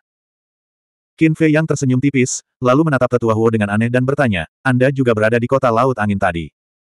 Ya, Penatua Huo mengangguk. Jadi, benarkah kau yang meminta Raja Menara Iblis untuk membantu kami? Kata Qin Fei Yang. Tentu saja. Selain lelaki tua ini, siapa lagi yang punya wajah sebesar itu? Penatua Huo tersenyum bangga. Qin Fei Yang bercanda, kalau begitu, alasan utama kamu datang kali ini pasti untuk mencari kakak senior gila, kan? Ha! Tetua Huo tertawa datar. Seperti yang diduga, dia adalah seekor rubah kecil. Tidak ada yang bisa lolos dari tatapannya. Tapi kalau dipikir-pikir, mampu memahami hal ketiga yang mendalam di usia semuda itu, siapa yang tidak akan tersentuh? Qin Fei yang tertawa. Ya. Penatua Huo berjalan di depan Qin Fei Yang dan berkata sambil tersenyum, lihatlah kalian berdua. Kalian berdua memiliki bakat yang sangat hebat. Seberapa berbahayakah jika tetap berada di luar? Jadi, ikuti orang tua ini ke Istana Iblis. Selama kamu memasuki Istana Iblis, bahkan jika aliansi penggarap nakal memiliki beberapa ratus nyali, mereka tidak akan berani melakukan apa pun padamu. Seperti yang diharapkan, Qin Fei yang bergumam. Dia tahu bahwa tetua Huo datang untuk masalah ini. Dia melambaikan tangannya dan berkata, bakatku tidak mengerikan. Yang mengerikan adalah kakak senior gila. Jangan katakan itu. Meskipun aku belum melihatmu menggunakan kekuatan hukum, orang tua ini percaya bahwa cepat atau lambat kau akan memahaminya. Penatua Huo tersenyum memberi semangat. Terima kasih atas doronganmu. Junior ini pasti akan bekerja keras. Qin Fei yang mengangguk. Sikap rendah hati ini membuat Penatua Huo merasa cukup puas. Ia tersenyum dan bertanya, lalu, tentang pergi ke Istana Iblis. Tidak pergi. Qin Fei yang menggelengkan kepalanya. Mengapa? Penatua Huo tercengang. Qin Fei yang menghela napas dan berkata, sejujurnya, kami tidak suka dikekang. Tidak ada yang mengekangmu. Kau bebas melakukan apa pun yang kau mau. Kata Penatua Huo buru-buru. Begitulah yang mereka katakan di awal. Saat Anda benar-benar masuk dan menemui masalah, akan ada banyak alasan untuk meyakinkan Anda. Aku tidak akan tertipu. Sebenarnya alasan utamanya adalah kami tidak ingin dilindungi oleh Istana Iblis. Karena ini akan membatasi pertumbuhan kita. Pikirkanlah, jika kita meminta bantuan Istana Iblis setiap kali kita menghadapi masalah, bagaimana kita bisa melatih diri kita dalam menghadapi kesulitan? Manusia harus mengalami banyak kesulitan sebelum mereka benar-benar dapat tumbuh dan menjadi mandiri. Hanya dengan begitu mereka akan memiliki keberanian untuk menghadapi semua kesulitan. Kata Qin Fei Yang. Penatua Huo semakin menyukai Qin Fei Yang dan orang gila ketika mendengar kata-kata ini. Hal ini dikarenakan anak muda zaman sekarang lebih suka bersandar di pohon untuk menikmati keteduhan. Hanya sedikit orang yang memiliki kesadaran seperti itu. 3076. Baiklah. Aku ingin meyakinkanmu, tapi aku tidak menyangka kau akan meyakinkanku. Penatua Huo menggelengkan kepalanya. Terima kasih atas pengertian Anda, senior. Qin Fei yang menangkupkan tangannya dan tersenyum. Penatua Huo melambaikan tangannya dan berkata, tetapi ada sesuatu yang dapat kita kerjakan bersama. Apa itu? Qin Fei yang curiga. Wakil pemimpin ingin membunuhmu. Mata Penatua Huo berkedip. Qin Fei yang sedikit terkejut. Dia mengerutkan kening dan berkata, ngomong-ngomong, aku benar-benar bingung. Apakah kamu bingung mengapa wakil pemimpin begitu ingin membunuhmu? Penatua Huo bertanya. Ya. Qin Fei yang mengangguk. Ini juga sesuatu yang tidak dapat ku mengerti. Selain beberapa orang di Aula Iblis, hanya orang-orang dari Aula Darah yang tahu kalau kamu berasal dari alam bawah. Secara logika, wakil pemimpin aliansi penggarap jahat seharusnya tidak mempersulitmu. Lagi pula, orang yang salah adalah Wang Hui. Kata Penatua Huo. Qin Fei Yang mengerutkan kening dan berkata, mungkinkah seseorang dari Aula Iblis membocorkan rahasia itu? Sama sekali tidak mungkin. Selain orang tua ini, satu-satunya orang yang mengetahui asal-usulmu adalah ketua Aula dan gadis itu, Chu Yun. Chu Yun dan Demon Hall adalah orang-orang yang sangat kami percaya. Kata Penatua Huo. Mungkinkah itu balai darah? Qin Fei Yang curiga. Kami pun berpikir begitu. Selain itu, kami menduga bahwa wakil pemimpin didukung oleh Blood Hall. Mata penatua Huo berkilat dingin. Maksudmu meskipun wakil pemimpinnya berasal dari aliansi penggarap nakal, dia sebenarnya berasal dari balai darah. Qin Fei yang terkejut. Ya, itu sebenarnya bukan masalah besar. Yang benar-benar kami khawatirkan adalah apakah Blood Hall berada di belakang Rock Cultivator Alliance. Kata penatua Huo dengan suara yang dalam. Itu seharusnya tidak mungkin. Rock Cultivator Alliance adalah kekuatan super di benua timur. Saya yakin beberapa dari mereka diam-diam berpihak pada Blood Hall. Namun, Aku benar-benar tidak bisa menerima bahwa Blood Hall berada di belakang aliansi penggarap nakal. Qin Fei yang menggelengkan kepalanya. Apalagi kamu, aku juga tidak ingin berpikir begitu. Namun, ada beberapa hal yang harus kamu rencanakan sebaik-baiknya.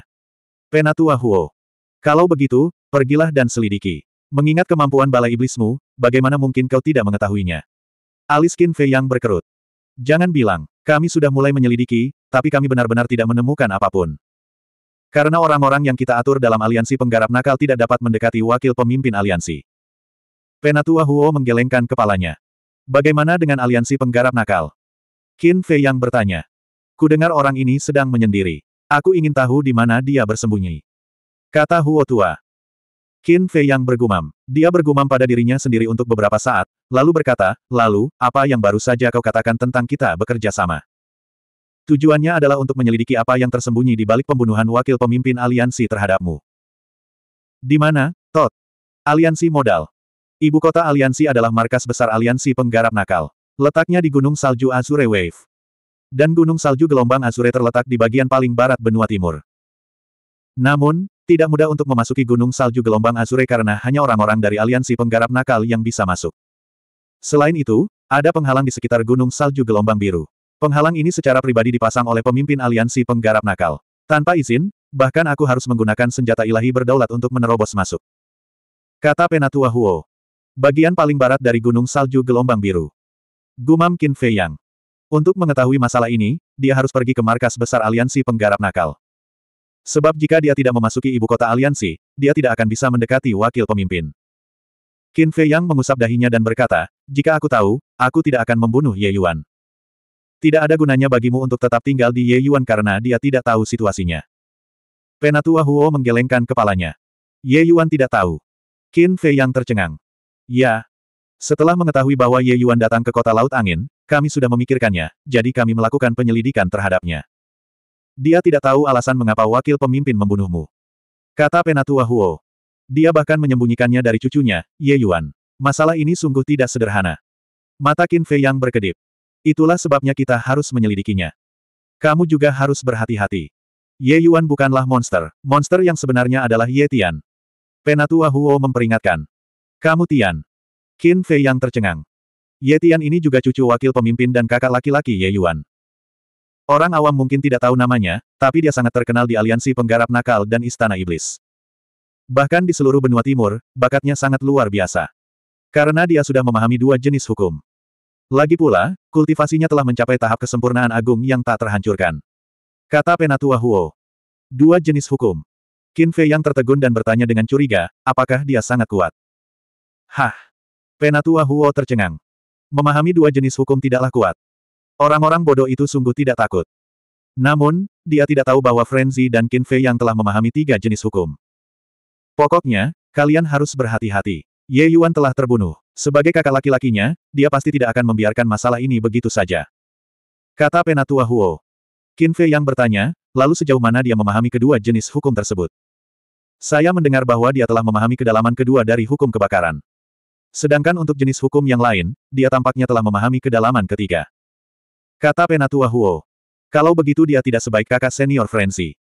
Qin Fei yang tersenyum.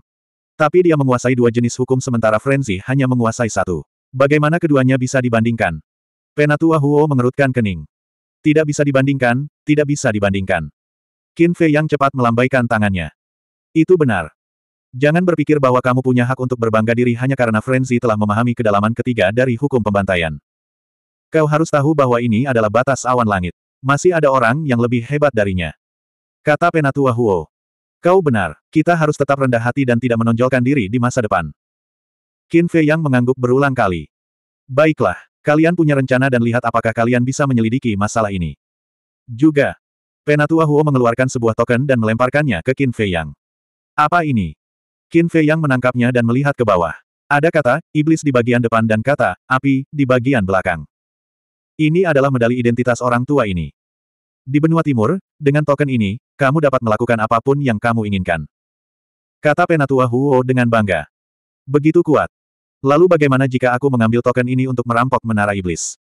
Qin Fei yang bertanya dengan rasa ingin tahu. Merampok menara iblis. Penatua Huo tercengang. Saya hanya bercanda, jangan dianggap serius. Qin Fei yang terkekeh. Penatua Huo memutar matanya dan berkata, biarkan aku katakan padamu, jangan berikan itu kepada orang lain seperti token yang diberikan Cuyun padamu. Bagaimana aku bisa? Saya pasti akan memperlakukannya seperti pusaka keluarga. Setelah Qin Fei yang selesai berbicara, dia melemparkannya ke dalam cincin interspasialnya. Mulut Penatua Huo berkedut. Dengan sikap acuh tak acuh seperti itu, bagaimana dia bisa memperlakukannya seperti pusaka keluarga? Siapa yang dia bohongi? Benar. Tiba-tiba aku teringat sesuatu. Bisakah kau membantuku? Qin Fei yang tiba-tiba menepuk kepalanya dan menatap Penatua Huo. Ada apa? Penatua Huo bingung. Bantu junior ini menemukan beberapa orang. Qin Fei yang melambaikan tangannya. Pemuda misterius, Li Feng, dan kastil abu-abu muncul. Penatua Huo memandang mereka dengan saksama dan bertanya, siapa mereka? Beberapa teman lama. Mereka datang ke batas awan langit sebelum kita, tapi aku tidak tahu di mana mereka sekarang. Kata Qin Fei Yang. Baiklah, selama mereka berada di benua timur dan belum mengubah penampilan mereka, tidak akan sulit untuk menemukan mereka. Penatua Huo mengangguk. Dan, Qin Fei Yang merenung sejenak dan menyimpulkan beberapa angka lagi. Mereka adalah kilin api, paman dewa binatang, Tan Wu, dan anjing ilahi neraka. Meskipun kilin api dan paman dewa binatang telah hilang selama bertahun-tahun, dia masih ingin mencoba. Adapun Tan Wu dan Infernal Divine Hound, meskipun mereka pergi ke dunia kuno bersama mereka, dia tidak tahu apa yang terjadi pada mereka. Jadi dia ingin mencarinya. Apakah mereka juga temanmu? Penatua Huo bertanya. Ya. Tapi aku tidak yakin apakah mereka datang ke batas awan langit. Ayo kita cari mereka. Kata Qin Fei Yang.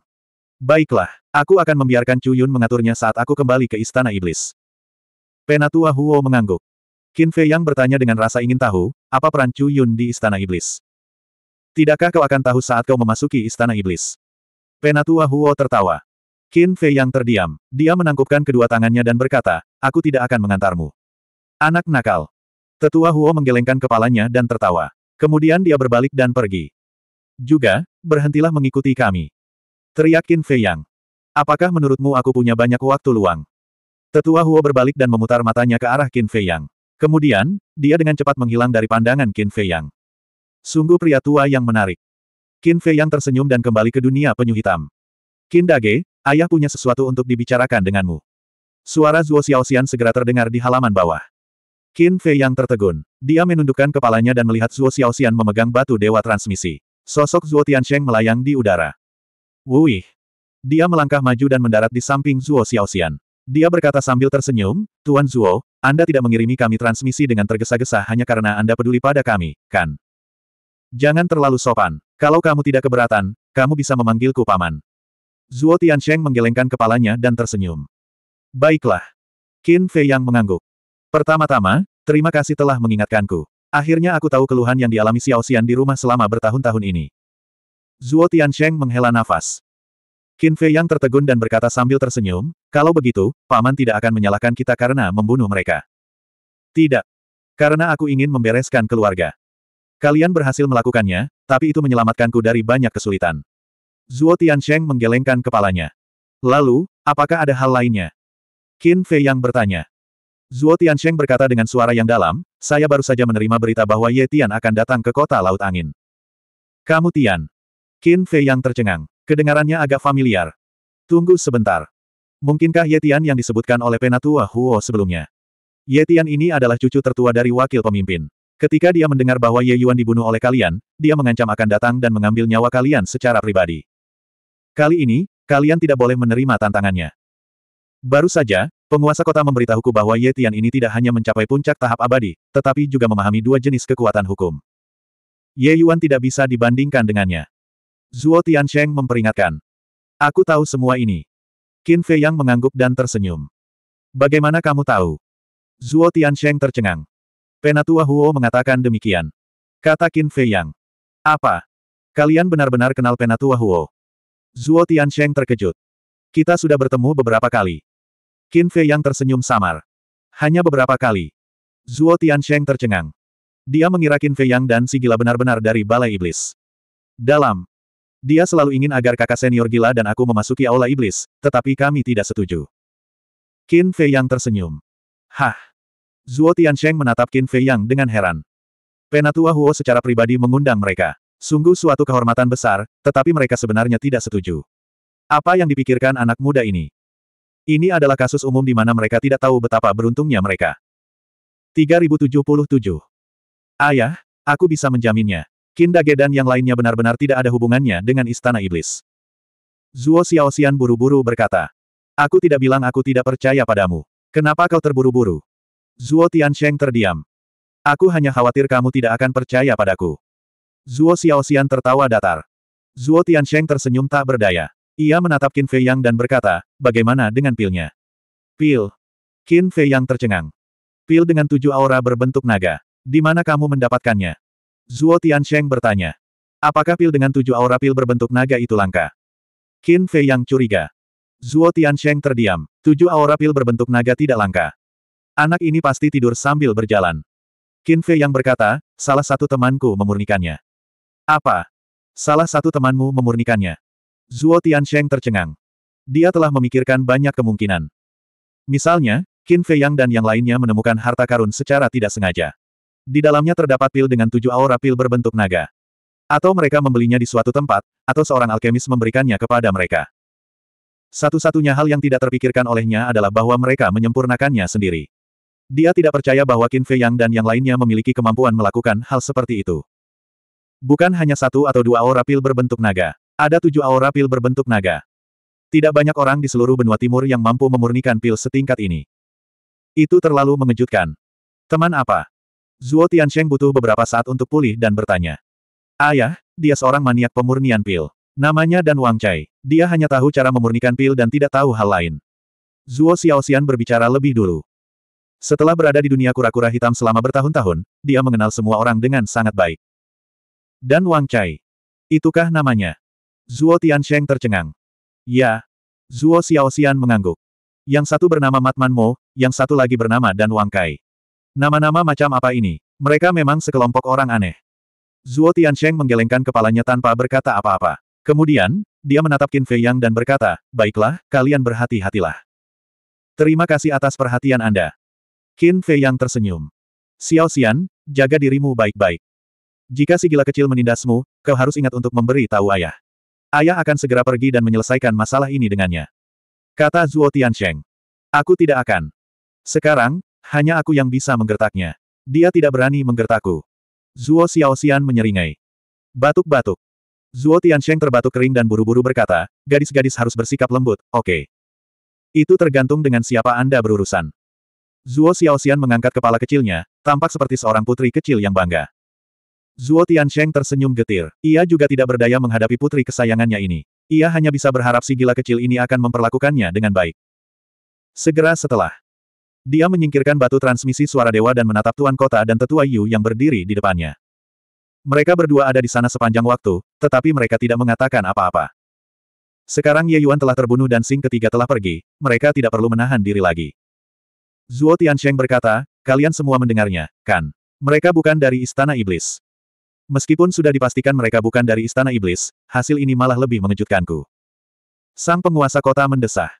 Itu benar. Identitas dan status tetua Huo di Istana Iblis sangatlah penting. Dia bahkan secara pribadi mengundang mereka ke Istana Iblis. Apa bagusnya mereka? Penatua Yu juga tampak tidak percaya. Kita tahu karakter tetua Huo. Jelas bukan identitas mereka yang bisa membuatnya menghargai mereka. Karena tidak peduli seberapa tinggi identitas mereka, mereka tidak layak disebutkan di depan Penatua Huo. Jadi menurut saya, itu seharusnya potensi dan bakat mereka. Lihat, si gila masih sangat muda, tetapi dia sudah memahami hukum pembantaian tingkat ketiga. Bakat seperti itu adalah salah satu yang terbaik di benua timur. Kata Zuo Tiansheng. Lalu Qin Fei Yang, apa bagusnya dia? Penatua Yu curiga. Jangan bilang, meskipun aku sudah bertemu dengannya berkali-kali, aku belum pernah melihat Qin Fei yang benar-benar bertarung. Biasanya, itu hanya pertengkaran kecil. Tuan kota berbisik. Singkatnya, tak seorang pun dari anak-anak ini yang dapat diremehkan. Terutama ahli alkimia di samping mereka yang dapat memurnikan tujuh aura pil berbentuk naga. Zuo Tiansheng menggelengkan kepalanya. Dalam. Tuan kota dan tetua Yu mengangguk. Baiklah. Jangan bicarakan mereka dulu. Kita tidak tahu kapan cucu tertua wakil pemimpin aliansi akan datang. Kita harus berhati-hati. Mulai sekarang, tidak peduli apa pun acaranya, kita tidak boleh menyinggung masalah pribadi Qin Fei Yang. Selain itu, kami harus meningkatkan hadiah untuk mereka. Kami tidak boleh mengungkap kekurangan apa pun. Tuan Kota mengingatkan. Dipahami. Zuo Tiansheng dan Penatua Yu mengangguk. Tapi tiba-tiba, ekspresi Zuo Tiansheng menjadi aneh. Ada apa? Tuan Kota dan Tetua Yu menatapnya dengan curiga. Apakah kau menyadari bahwa kita tampaknya telah mengkhianati aliansi penggarap nakal? Zuo Tiansheng mengerutkan kening. Dihianati. Keduanya sedikit tercengang. Senyum getir muncul di wajah mereka. Apa yang mereka lakukan saat ini benar-benar terasa seperti pengkhianatan. Mendesah. Ini semua demi Xiao Xian. Zuo Tiansheng menghela nafas. Pada saat yang sama, semua kota besar di benua timur gempar. Apakah kamu mendengar? Ye Yuan terbunuh. Apa? Dia benar-benar terbunuh. N, orang yang membunuhnya adalah Frenzy dan Qin Fei Yang. Keduanya terlalu berani.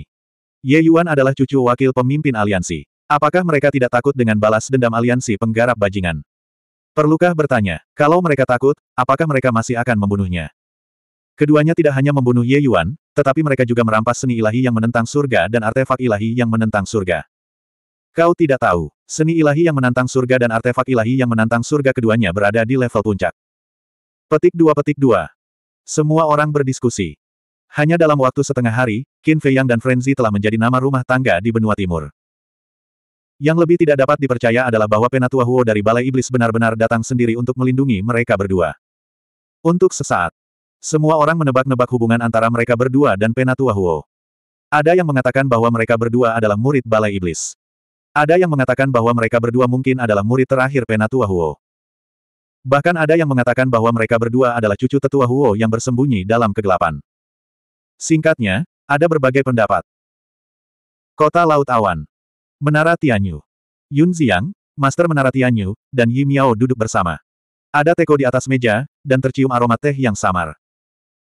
Yun Xiang menyesap tehnya, menatap ke arah Master Menara Tianyu, lalu berkata sambil tersenyum, kamu tidak menyangka latar belakang Qin Dage dan saudaramu begitu hebat, kan? Ini agak tidak terduga. Kepala Menara Tianyu mengangguk. Ini sungguh tak terduga. Aku tidak menduga mereka ada hubungannya dengan Devil Hall. Yun Xiang menggelengkan kepalanya. Itu tidak sepenuhnya benar.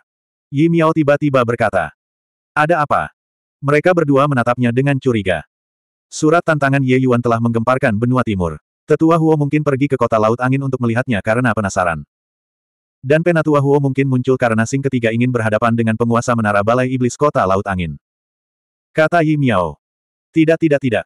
Orang macam apakah Penatua Huo itu? Bahkan jika Ye Yuan adalah cucu dari wakil ketua aliansi, dia tidak akan tertarik padanya. Karena di matanya, mereka hanya dua junior yang sedang main-main. Jadi, hanya ada satu kemungkinan. Tetua Huo tertarik pada Qin Fei Yang dan Ye Yuan. Yun Xiang melambaikan tangannya. Itu masuk akal jika Anda mengatakannya seperti itu. Yi Miao mengangguk. Lalu, Saudara Yun, apakah menurutmu mereka membunuh Wang Hui saat itu karena kita? Kata Master Menara Tianyu. Karena kita. Yun Xiang tercengang. Ya. Kami tidak punya pilihan selain datang ke Cloud Sea City karena kami telah menyinggung Wang Hui di Win City. Mungkinkah mereka membunuh Wang Hui karena mempertimbangkan keselamatan kita? Kata Master Menara Tianyu. Ini. Yun Xiang tidak dapat menahan diri untuk terdiam sejenak. Saya tidak menganggap mereka orang yang dingin dan tidak berperasaan seperti yang Anda katakan. Sebaliknya, mereka sangat hangat terhadap orang lain. Adapun mengapa mereka tidak ingin bersama kita, mungkin karena mereka percaya pada kita. Mereka tidak bisa mempercayai kita. Kata Master Menara Tianyu. Mungkin. Yun Xiang tersenyum. Waktu berlalu. Setengah bulan berlalu. Ledakan. Malam itu, seorang pemuda berpakaian putih tiba-tiba turun di langit di atas kota Laut Angin. Dia sama sekali tidak menyembunyikan auranya, dan itu membuat banyak orang khawatir. Ini. Tuan Kota, Zuo Tiansheng, dan Tetua Yu buru-buru berlari keluar dari perkebunan Tuan Kota dan menatap pria berpakaian putih itu. Pria berpakaian putih itu juga melirik mereka bertiga dari jauh, namun dia mengabaikan mereka dan berkata dengan acuh tak acuh, Qin Fei Yang, si gila Mo, aku, Ye Tian, akan menunggu kalian di sini. Setelah dia selesai berbicara, dia tidak memasuki istana penguasa kota. Sebaliknya, dia duduk bersila di langit di atas kota dan memejamkan mata untuk berkultivasi. Meski suaranya tidak terlalu keras, suaranya terngiang di benak setiap orang di Winsi City. Dia cucu tertua dari wakil ketua aliansi. Dia benar-benar datang. Semua orang menatap Yetian dengan heran. Tetua Yu melirik Yetian, lalu menatap Tuan Kota dan Zuo Tiansheng dan bertanya, haruskah kita naik dan menyapa? Lupakan. Dari penampilannya, dia tidak ingin diganggu. Tuan Kota melambaikan tangannya. Segera. Zuo Tiansheng memberitahu Qin Fei Yang berita kedatangan Ye Tian melalui Zuo Xiaoxian. Untuk ini, Qin Fei Yang tidak banyak bereaksi. Bagi orang-orang di benua timur, seorang ahli tahap mayat hidup sempurna yang menguasai dua jenis hukum kekuatan benar-benar merupakan seorang jenius yang mengejutkan dan luar biasa. Namun di mata dia dan si gila, hal itu tidak layak untuk diperhatikan. Bukan hanya sekarang. Di dunia kuno, hanya para ahli dari generasi tua yang benar-benar dapat membuat mereka memperhatikan. Dengan kata lain, mata mereka tidak pernah tertuju pada teman sebayanya. Setengah bulan telah berlalu di luar, dan 15.000 tahun telah berlalu di alam kura-kura hitam. Si gila telah menguasai teknik rahasia pertempuran dan terus berkultivasi, memahami kekuatan hukum. Qin Fei Yang juga sedang menyendiri. Adapun pembunuh pedang ajaib, dia juga memasuki tanah asal untuk berkultivasi. Dibandingkan dengan keributan di luar, alam kura-kura hitam tampak sangat tenang. 3078 Waktu berlalu hari demi hari. Yetian seperti batu beku, duduk bersila di langit di atas kota.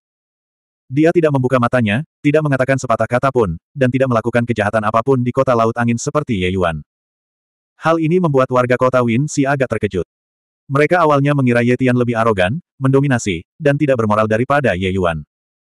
Tetapi mereka tidak menyangka dia begitu jujur. Pada awalnya, semua orang masih sedikit takut, tetapi perlahan-lahan, mereka tampaknya terbiasa dengan keberadaannya. Pada akhirnya, semua orang mulai mengabaikannya. Sesekali, mereka mengangkat kepala untuk melihat. Jadi, orang ini masih ada di sana. Pada hari yang sama ketika Yetian muncul di kota Laut Angin. Wuih! Sosok itu turun ke kehampaan di depan Demon Hall. Orang ini memegang tongkat berbentuk ular di tangannya dan mengenakan jubah hijau panjang. Wajahnya sudah tua, dan dia memancarkan aura menyeramkan. Saya bertanya-tanya siapa orang itu. Jadi dia adalah wakil pemimpin aliansi dari aliansi penggarap jahat. Wakil pemimpin aliansi, mengapa kau secara pribadi datang ke balai iblisku? Chu Yun muncul di hadapan sesepuh berjubah hijau dan tersenyum tipis. Aku tidak berani memanggilmu tuan. Aku di sini hanya untuk memohon satu hal pada aulamu. Kata wakil pemimpin aliansi. Kau di sini bukan untuk mencari keadilan bagi Ye Yuan, kan? Chu Yun mengerutkan kening. Qin Fei Yang dan si Gilamo bersalah atas kematian Ye Yuan. Aku tidak punya alasan untuk mencari keadilan dari balai iblis. Wakil pemimpin aliansi menggelengkan kepalanya. Lalu untuk apa? Chu Yun curiga. Saya berharap generasi tua tidak ikut campur dalam urusan generasi muda. Kata wakil pemimpin aliansi. Maksudmu Yetian? Chu Yun tercengang. Wakil pemimpin aliansi berkata, Nona Yun cerdas dan murni. Saya yakin Anda tahu apa yang saya maksud. Jangan khawatir. Selama Yetian tidak bertindak gegabah di kota Laut Angin seperti Ye Yuan, balai iblis kita tidak akan ikut campur. Chu Yun terkekeh. Mendengar ini, wakil pemimpin aliansi diam-diam menghela napas lega. Sebenarnya, dia hanya menguji tebakan saja. Untuk melihat apakah Qin Fei Yang dan si Gilamo ada hubungannya dengan balai iblis.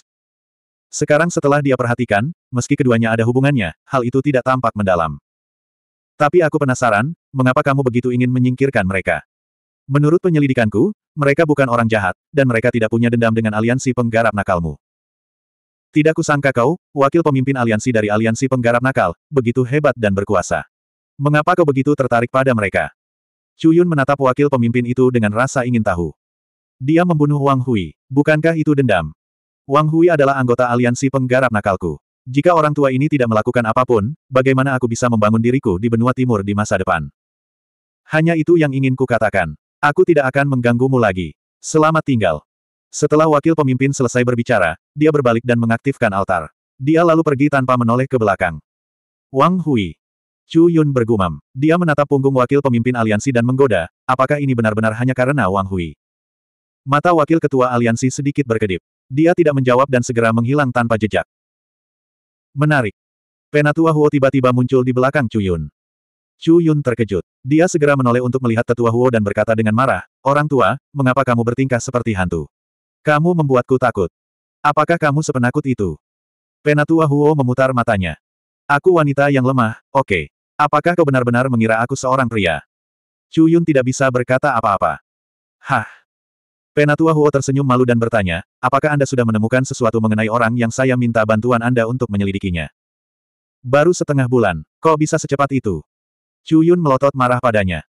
Menara iblis kita tersebar di seluruh kota di benua timur. Bukankah mudah untuk menemukan beberapa orang? Tidak bisakah kamu lebih berhati-hati? Bagaimanapun, dialah orang yang dicari Qin Fei Yang. Penatua Huo mengerutkan kening. Apakah Qin Fei Yang sehebat itu? Chu Yun mendengus dingin. Kamu gadis kecil. Jangan bicara tentang hal lain dulu. Qin Fei Yang memiliki senjata ilahi berdaulat. Kita harus menariknya. Penatua Huo tidak berdaya. Menarik dia. Menurutku, kita harus membunuh mereka saja. Senjata ilahi berdaulat akan menjadi benda paling berharga di tangan kita. Kata Chu Yun. Jangan bicara omong kosong. Jangan bicara omong kosong. Penatua Huo segera melambaikan tangannya dan berkata dengan suara yang dalam, karena mereka berani menentang balai darah, mereka tidak akan peduli dengan balai iblis. Terlebih lagi, semakin aku melihat mereka, semakin aku merasa bahwa mereka tidak sederhana. Sebaiknya jangan jadikan mereka musuh jika tidak perlu. Hah! Yun memandang tetua Huo seolah-olah dia telah menemukan benua baru. Mengapa kamu menatapku seperti itu? Penatua Huo merasa curiga. Aku benar-benar tidak menyangka akan ada seseorang di dunia ini yang kau takuti. Kata Yun. Itu bukan rasa takut, itu sikap. Ketika menghadapi orang yang berbeda, Anda harus menggunakan sikap yang berbeda. Jangan bicarakan ini dulu. Apakah kamu sudah menemukan asal-usul dua senjata ilahi berdaulat tambahan di Aula Darah? Penatua Huo bertanya. Tidak. Orang-orang yang kita tempatkan di Blood Hall telah melakukan penyelidikan, tetapi tampaknya tidak banyak orang yang tahu tentang hal ini. Sepertinya hanya tetua Hai dan kepala Balai Darah yang tahu tentang hal itu. Bahkan Diakon Agung Balai Darah pun tidak mengetahuinya. Cuyun mengusap dahinya, tampak sedikit kesal.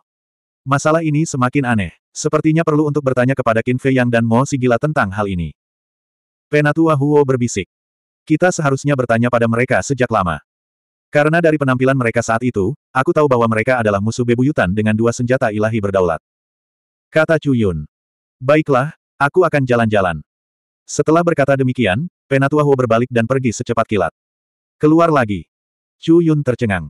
Apa yang salah dengan orang tua ini? Dia biasanya tidak keluar, tetapi selama kurun waktu ini, dia keluar setiap hari. Berdengung. Tiba-tiba, batu transmisi suara ilahi berdering. Cuyun mengeluarkan batu transmisi suara ilahi, dan sebuah bayangan muncul. Salam, Nona Yun. Dia adalah seorang pria parubaya, berusia sekitar 40 tahun. Dia menahan auranya dan berdiri di tengah hutan. Pak Tuasu, ada apa? Cuyun bertanya sambil tersenyum. Setengah bulan yang lalu, bukankah kamu meminta kami untuk menemukan beberapa orang di Menara Iblis di setiap kota? Sekarang, aku telah menemukan salah satunya. Kata pria paruh baya itu. Di mana? Yun sedikit tertegun dan buru-buru bertanya. Pegunungan Badak. Saya di sini. Apakah Anda ingin datang dan memastikannya secara langsung? Pria paruh baya itu bertanya. Baiklah, aku akan segera ke sana. Berikan aku koordinatnya. Yun mengangguk.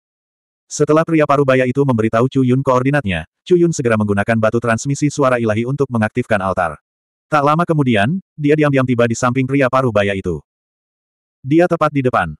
Pria parubaya itu menunjuk ke depan dan berkata, Ayo pergi dan lihat. Setelah Cuyun berkata demikian, mereka berdua diam-diam berjalan masuk dan segera melihat sebuah kolam. Kolam itu panjangnya sekitar beberapa ratus kaki dan sangat jernih. Seorang pemuda berpakaian putih sedang berbaring di atas air dengan rumput hijau di sudut mulutnya. Ada sedikit sinisme di matanya. Dia tampak sangat nyaman dengan matanya yang menyipit. Di samping pemuda itu, ada seekor ular piton salju sepanjang 2 meter tergeletak di tanah. Ular itu juga tampak santai. Itu benar-benar dia. Chu Yun bergumam. Aku tidak bisa melihat auranya, jadi aku tidak memberitahunya. Pria parubaya itu menyampaikan suaranya. Kau tidak bisa melihatnya. Chu Yun tertegun dan segera memeriksa kultivasi pemuda itu. Tak lama kemudian, ia menemukan bahwa ada semacam tabir misterius di tubuh pemuda itu. Bahkan ia sendiri tidak dapat melihatnya. Kurasa kultivasinya mungkin tidak kuat. Dia seharusnya punya semacam harta rahasia yang bisa menyembunyikan kultivasinya. Pria parubaya itu berpikir dalam hati. Chu Yun mengangguk. Orang ini tidak memberinya rasa krisis. Tiba-tiba, pemuda itu menguap dan bertanya perlahan, Xiao Sui, apakah aku setampan itu? Tuan muda, bisakah Anda tidak memanggil saya Xiao Sui? Tidak pantas bagi seorang wanita memanggilku seperti itu. Si ular piton salju di samping berbicara dengan ekspresi tak berdaya. Itulah yang membuatmu imut. Pria muda itu terkekeh. Aku tidak ingin bersikap begitu imut. Ular piton salju mengerucutkan bibirnya. Aku bertanya padamu, apakah aku sangat tampan? Pemuda itu berbicara lagi. Ya, ya, ya. Si ular piton salju mengangguk. Tidak heran mereka bersembunyi di kegelapan untuk mengintipku. Ternyata mereka mengingini kecantikanku. Pria muda itu mengangguk tanda mengerti. Batuk-batuk. Ular piton salju langsung terbatuk kering. Kecantikan. Dia terlalu banyak berpikir. Pada saat yang sama, mendengar percakapan antara manusia dan binatang itu, Cuyun dan pria parubaya itu terkejut. Mereka benar-benar diperhatikan oleh orang ini. Keduanya saling memandang dan tidak bersembunyi lagi. Mereka berjalan keluar dari hutan dan berdiri di tepi kolam. Pemuda itu membuka matanya dan menatap Cuyun. Dengan tatapan malas, dia berkata, jangan terlalu tergila-gila padaku. Aku tidak tertarik padamu. Sudut mulut Cuyun berkedut. Dia benar-benar tidak tahu malu dan berkata, aku tidak mencarimu. Itu bukan kamu. Pemuda itu sedikit terkejut dan berkata dengan acuh tak acuh, kalau begitu, itu pasti Qin Fei Yang. Bagaimana kamu tahu? Chu Yun tercengang. Di alam awan langit, siapa lagi yang akan mencariku selain dia? Pria muda itu menggelengkan kepalanya. Apakah kalian benar-benar saling kenal? Chu Yun curiga.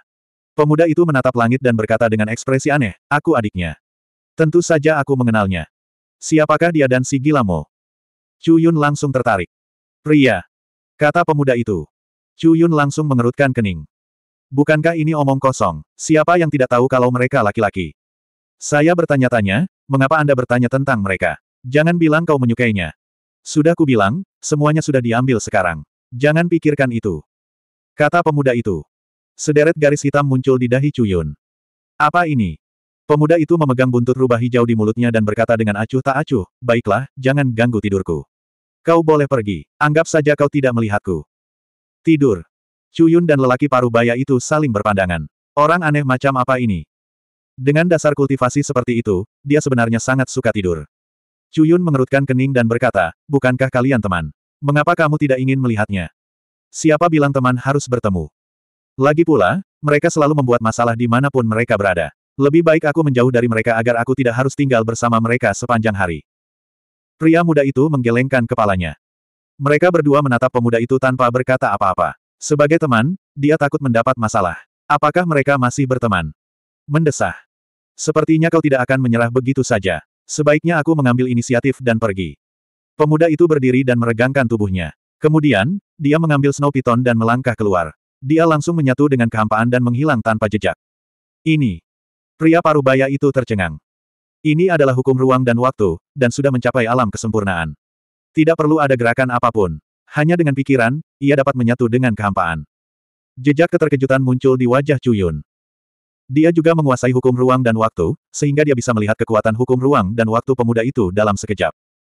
Orang-orang dari alam bawah ini tidak sederhana. 3079. Periode waktu lainnya berlalu. Di luar gunung salju Changlan, langit dipenuhi salju dan tanah tertutup salju.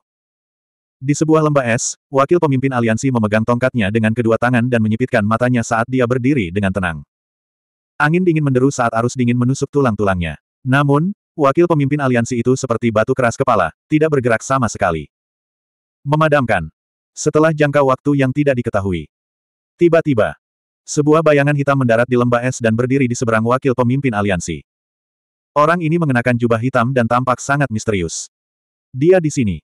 Wakil pemimpin aliansi membuka matanya dan menatap pria berjubah hitam itu. Tidak ada gejolak di matanya. Ya. Pria berjubah hitam itu mengangguk dan bertanya, bagaimana tanggapan Istana Iblis? Suaranya rendah dan serak.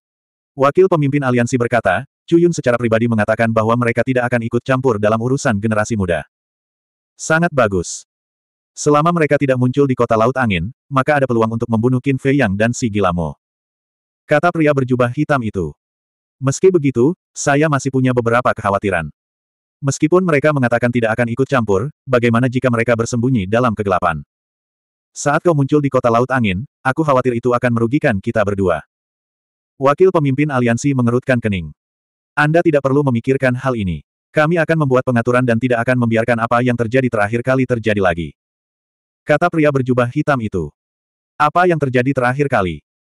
Ketika wakil pemimpin aliansi mendengar ini, secerca kemarahan melintas di matanya, dan dia berkata dengan muram, terakhir kali, Yuan, Er tewas secara tragis di tangan mereka karena aku mempercayaimu. Tidak ada yang dapat kita lakukan mengenai hal itu. Saat itu, aku bersembunyi di kota Laut Angin, bersiap untuk membunuh mereka, tetapi siapa sangka bahwa Penatua Huo juga bersembunyi di kota Laut Angin.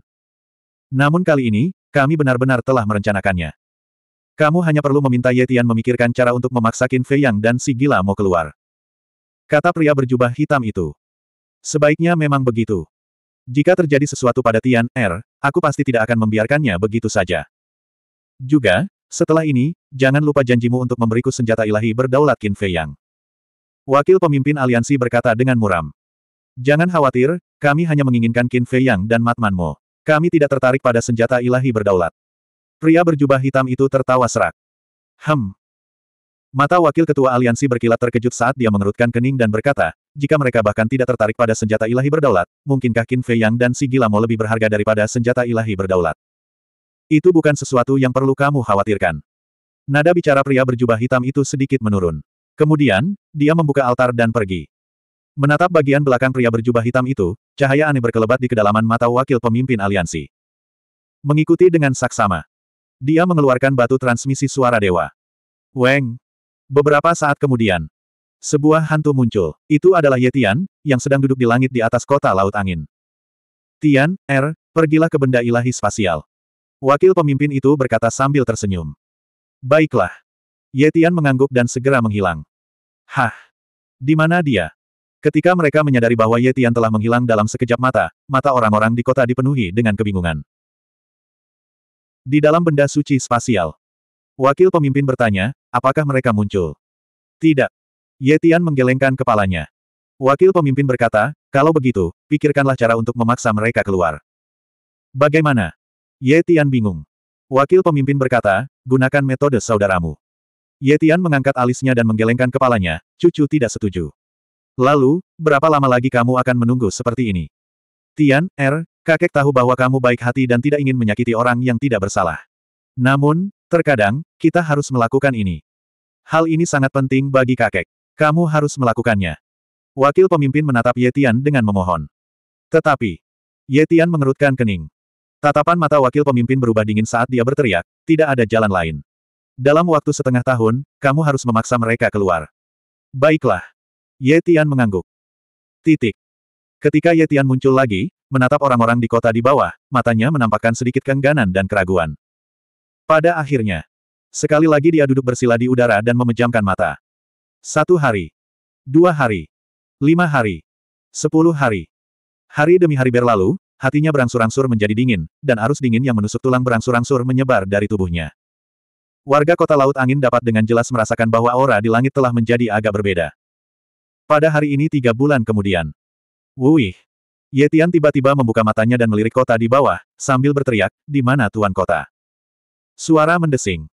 Tiga sosok segera bergegas keluar dari City Lord Mansion dan mendarat di depan Yetian. Mereka membungkuk dan berkata, Tuan muda, apa perintah Anda? Mereka adalah Tuan Kota Zuo Tiansheng dan Tetua Yu. Segera pasang pengumuman dan beritahu Qin Fei Yang dan Si Gilamo bahwa mulai hari ini dan seterusnya, aku akan membunuh seorang bayi di kota Laut Angin setiap hari mereka tidak muncul. Kata Yetian. Apa? Membunuh bayi. Ketiganya gemetar. Yetian menatap mereka bertiga dan bertanya, apakah perlu aku mengatakannya lagi? Tidak perlu, tidak perlu. Tetapi kami khawatir kamu akan membuat istana iblis marah. Yang paling penting adalah ini akan berdampak buruk pada aliansi pembudidaya nakal kita. Lagi pula, apa yang dilakukan saudaramu Ye Yuan di kota Laut Angin telah membangkitkan kemarahan publik. Jika kau terus melakukan ini, mereka bertiga khawatir. Kalau begitu, katakan kepada orang-orang di kota Laut Angin bahwa ini bukan yang ingin kulakukan. Qin Fei Yang dan yang lainnya yang memaksaku melakukan ini. Jika kau tidak ingin melibatkan dirimu, maka cepatlah dan temukan Qin Fei Yang dan yang lainnya. Kata Ye Tian. Baiklah. Mereka bertiga mengangguk tak berdaya. Membunuh bayi. Ini bahkan lebih kejam dari Ye Yuan.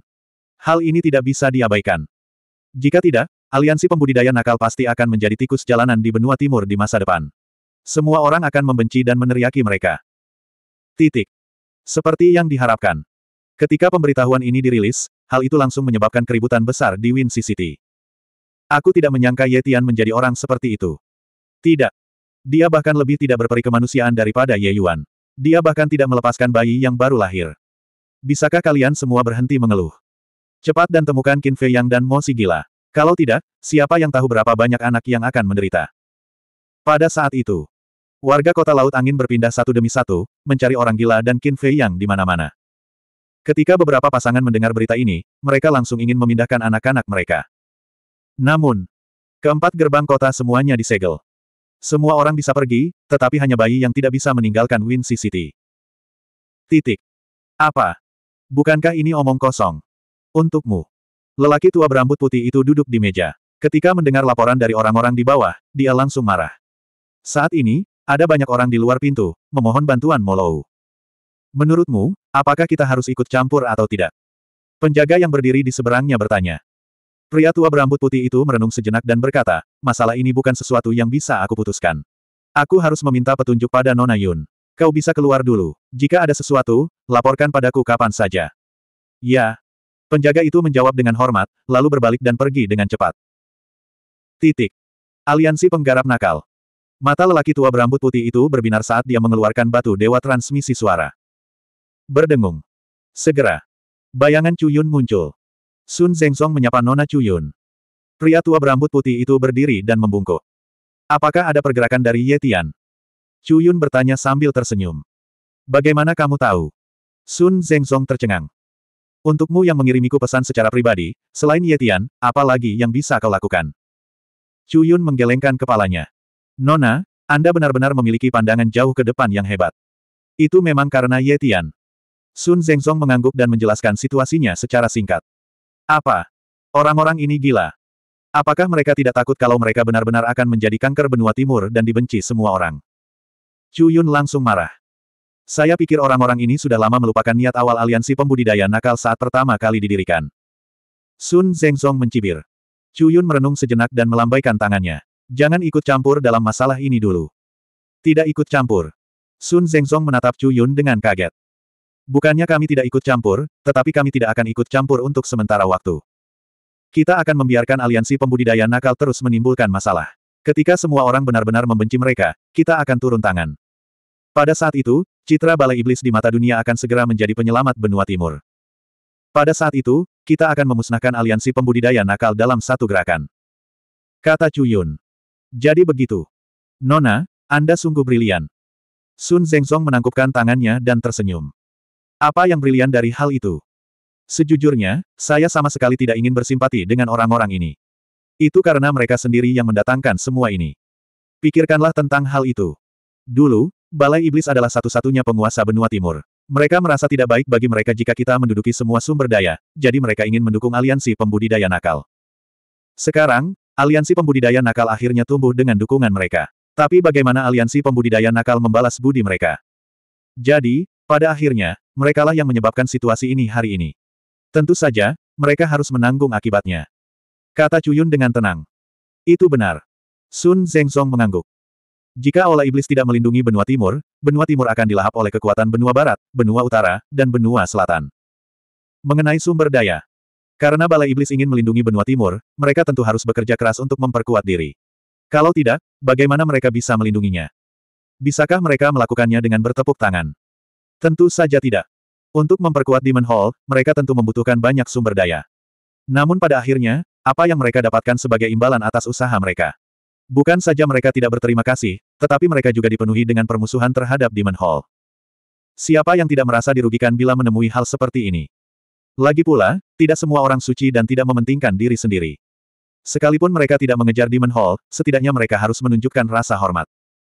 Lakukan saja apa yang aku katakan. Biarkan orang-orang ini membuka mata mereka dan melihat dengan jelas siapa sebenarnya yang melindungi benua timur. Kata Chu Yun. Dipahami. Sun Zengzong menjawab dengan hormat. Malam itu. Setelah tengah malam, Ye Tian benar-benar membunuh seorang anak. Melihat pemandangan berdarah ini, semua orang segera menyadari bahwa Ye Tian tidak bercanda dengan mereka.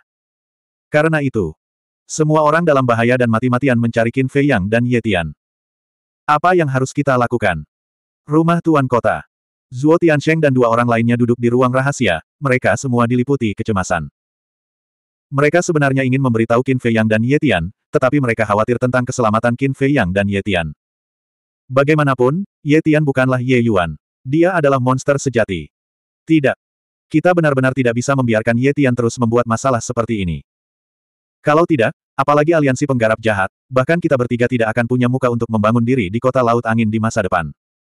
Penguasa kota tiba-tiba mengangkat kepalanya dan menatap Zuo Tiansheng. Segera kirim pesan ke Qin Fei Yang dan Ye Tian. Baiklah. Mendengar ini, Zuo Tiansheng menggertakkan giginya dan mengeluarkan batu dewa transmisi suara. 3080. Setelah sekitar 10 napas, Zuo Xiaoxian muncul. Xiaoxian, apa yang sedang kamu lakukan? Kenapa kamu lama sekali menjawab? Zuo Tiansheng menatapnya dengan bingung. Qin Dage sedang berada di tengah-tengah terobosan, jadi dia tidak menyadari keributan dari batu suara ilahi. Kata Zuo Xiaoxian. Terobosan. Zuo Tiansheng sedikit terkejut. Dia berkata dengan heran, apakah dia telah mencapai tahap prestasi kecil yang tidak dapat dihancurkan? Tidak, Zuo Xiaoxian menggelengkan kepalanya. Zuo Xiaoxian menggelengkan kepalanya dan bertanya, apakah kamu mencariku atau Qin Fei Yang? Ada hal mendesak yang harus aku bicarakan dengan Qin Fei Yang dan si Gilamo. Kata Zuo Tiansheng. Kalau begitu, Anda harus menunggu beberapa saat. Kata Zuo Xiaoxian. Tidak apa-apa. Zuo Tiansheng melambaikan tangannya. Tuan kota melihat pemandangan di belakang Zuo Xiaoxian dan berkata sambil tersenyum, Xiaoxian, bisakah kamu menunjukkan kepada kami situasi dunia kura-kura hitam? Zuo Xiaoxian tengah berdiri di halaman, menghadap ke arah kastil, sehingga pemandangan di belakangnya kembali muncul dalam pandangan mereka. Di belakangnya, di samping pelataran yang tertata rapi, tampak pula ladang tanaman obat. Akan tetapi, mereka hanya dapat melihat puncak gunung es. Ini. Zuo Xiaoxian ragu-ragu sejenak, lalu menggelengkan kepalanya dan berkata, Ayah, tidak, saya harus mendapatkan izin Kindage terlebih dahulu. Baiklah. Sang penguasa kota tampak tak berdaya. Ini adalah pertama kalinya Zuo Xiaoxian menolak permintaannya. Seperti yang diharapkan, wanita yang sudah menikah ibarat air yang telah dicurahkan. Yang paling penting, dia belum menikah. Jika dia begitu setia kepada Qin Fei Yang dan yang lainnya sebelum menikah, lalu apa yang akan terjadi ketika dia menikah? Setelah mematikan batu suara ilahi, Zuo Xiaoxian mengangkat kepalanya dan terus melihat ke arah kastil. Zuo Xiaoxian bukan satu-satunya. Kecuali Qin Batian dan Lu Zhengyang, yang lainnya juga berdiri di halaman mereka, menatap kastil dengan gugup dan penuh harap. Di langit di atas kastil kuno itu, terlihat bercak-bercak petir dewa berwarna ungu, bagaikan ombak yang mengamuk, bergulung-gulung tiada henti. Kekuatan petir ini hampir lebih kuat dari semua petir di dunia. Orang-orang dan binatang yang hadir semuanya merasakan ancaman yang mematikan. Di luar, sudah lebih dari 40 hari sejak pertempuran antara lunatik dan Ye Yuan. Namun, di dunia kura-kura hitam, lebih dari 40 ribu tahun telah berlalu. Qin Fei yang telah memahami kedalaman kedua dari tiga hukumnya sebelum pertempuran antara orang gila dan Ye Yuan. Tapi sekarang, setelah lebih dari 40 ribu tahun kerja keras, kedalaman ketiga hukum petir akhirnya akan terbentuk. Retakan. Gemuruh. Suara guntur bergema ke segala arah. Guntur ilahi berwarna ungu bergemuruh di langit. Itu bagaikan malapetaka surgawi yang menimpa dunia, sangat mengerikan dan tak tertandingi. Tiba-tiba, semua petir dewa di langit berubah menjadi naga petir besar yang menerkam ke segala arah. Kehampaan itu hancur, dan negeri iblis berguncang. Apa yang dilakukan bocah nakal ini? Anak laki-laki itu muncul dengan cemberut. Bukankah itu hanya pemahaman tentang hal ketiga yang mendalam? Apakah ada kebutuhan untuk menyebabkan keributan sebesar itu? Sebenarnya, dia tidak tahu. Qin Fei yang sekarang dalam keadaan yang sangat aneh. Dia tidak tahu apa yang terjadi di luar. Pada saat ini, kesadarannya terasa seolah-olah berada di lautan petir, dengan naga petir yang tak terhitung jumlahnya terbang di sekelilingnya. Masing-masing naga petir ini memiliki kekuatan untuk menghancurkan dunia, tetapi di hadapannya, mereka jinak seperti anak domba. Bahkan, Naga petir ini membawanya dan terbang di langit. Perlahan-lahan, naga-naga petir tersebut bergabung dan berubah menjadi seekor naga besar yang terbang ke angkasa. Pada saat yang sama, di atas kastil kuno, seekor naga petir besar juga muncul. Cahaya ilahi berwarna ungu menyelimuti dunia. Mengaum. Tiba-tiba, disertai dengan raungan naga yang memekakan telinga, naga petir raksasa itu melesat ke angkasa, dan tiba-tiba muncul sebuah lubang yang sangat besar. Haha. Momen berikutnya. Disertai tawa keras, Qin Fei yang bergegas keluar dari kastil kuno, wajahnya penuh kegembiraan. Menertawakan, adikmu. Wajah Little Wim menjadi gelap, dan kekuatan asal muncul, dengan cepat memperbaiki langit dan kehampaan yang hancur. Saya senang. Qin Fei yang terkekeh, seluruh tubuhnya bersemangat. Jadi, kamu telah memahami hal terdalam ketiga. Si pengecut kecil bertanya. Tentu saja. Yang ketiga yang mendalam, murka guntur. Qin Fei yang mengangguk. Itu tidak benar. Bukankah kau terlebih dahulu memahami hukum cahaya, kemudian hukum karma, dan akhirnya hukum guntur? Mengapa kamu memahami hukum petir tingkat ketiga terlebih dahulu? Si pengecut kecil menatapnya dengan curiga. Mungkin karena aku telah mengalami terlalu banyak kesengsaraan surgawi, jadi lebih mudah bagiku untuk memahami hukum guntur. Kata Qin Fei Yang. Itu benar. Tetapi hukum karma adalah yang paling penting. Anda harus lebih berhati-hati. Si pengecut kecil mengingatkan. Aku tahu. Tetapi saya menemukan bahwa hukum karma lebih sulit dipahami daripada hukum cahaya dan hukum guntur. Qin Fei yang mengerutkan kening. Itu sudah pasti. Bagaimanapun juga, hukum karma adalah salah satu hukum terkuat di dunia. Kata si pengecut kecil. Masuk akal. Qin Fei yang bergumam. Juga. Saya telah memikirkan rumusan enam kata ilahi ini dengan saksama. Saya pribadi berpendapat bahwa itu harus dibentuk oleh hukum mendalam. Jika Anda punya waktu, pelajarilah lebih lanjut. Mungkin Anda dapat memahami hukum kekuatan baru dari formula ilahi enam kata. Kata si pengecut kecil. Hukum kekuatan baru. Jantung Qin Fei Yang berdebar kencang. Untuk dapat melangkah ke alam berdaulat, syarat pertama yang dibutuhkan adalah memiliki enam jenis hukum kekuatan. Dan sekarang, dia baru memahami tiga jenis, yang berarti sudah setengah jalan. Jika dia benar-benar dapat memahami hukum kekuatan baru dari formula ilahi enam kata, itu akan setara dengan dia memenuhi persyaratan untuk melangkah ke alam berdaulat. Baiklah, lain kali, bicaralah lebih tenang. Si pengecut kecil menatap Qin Fei Yang dan menghilang tanpa jejak. Fei Yang. Putri Duyung segera menghampirinya. Qin Fei Yang meraih tangan Putri Duyung dan bertanya, sudah berapa lama? Lebih dari 40 ribu tahun. Kata Putri Duyung. Jadi, baru 40 hari di luar. Qin Fei Yang bergumam dan menundukkan kepalanya untuk melihat kastil kuno, aku ingin tahu bagaimana kemajuan kakak senior Frenzy. Saya rasa itu akan segera terjadi. Kata Putri Duyung. Keduanya berada dalam pengasingan pada saat yang sama, tetapi Frenzy menghabiskan lebih banyak waktu untuk memahami teknik rahasia pertempuran. Qin Fei yang berkata, pokoknya, aku harus bekerja lebih keras daripada kakak senior Frenzy. Mengapa? Putri Duyung merasa curiga. Karena hukum kekuatan kakak senior Frenzy berada di atas hukumku. Jika aku tidak bekerja keras, aku tidak akan bisa melampauinya. Kata Qin Fei Yang. Saat itu, sebelum dia memahami hukum kekuatan, hukum pembantaian Frenzy telah memasuki tahap kedua. Dapat juga dikatakan bahwa sebelum ia lahir, Frenzy telah memahami hukum pembantaian. Inilah keuntungan Frenzy. Dan sekarang, meskipun dia telah memahami hukum petir tingkat ketiga, Frenzy juga telah memahami hukum pembantaian tingkat ketiga. Dan tidak butuh waktu lama sebelum dia memahami hukum kekuatan ketiga yang mendalam. Jadi, dalam hal hukum kekuatan, Frenzy masih di atasnya. Baiklah, jangan kecewa. Lihatlah alam awan langit, berapa banyak yang dapat memahami alam abadi tingkat ketiga. Putri Duyung terdiam. Kita tidak bisa membandingkan dengan orang biasa. Jika kita ingin membandingkan, kita harus membandingkan dengan orang jenius. Contohnya, monster seperti kakak senior Frenzy. Qin Fei yang tertawa. Ternyata kakak senior Frenzy selalu menjadi monster di matamu. Putri Duyung menutup mulutnya dan tertawa. Bukankah begitu? Qin Fei yang menggelengkan kepalanya. Qin Dage, kamu tidak tahu, tapi di mata Little Frenzy, kamu juga monster. Zuo Xiaoxian berjalan mendekat saat ini dan tertawa.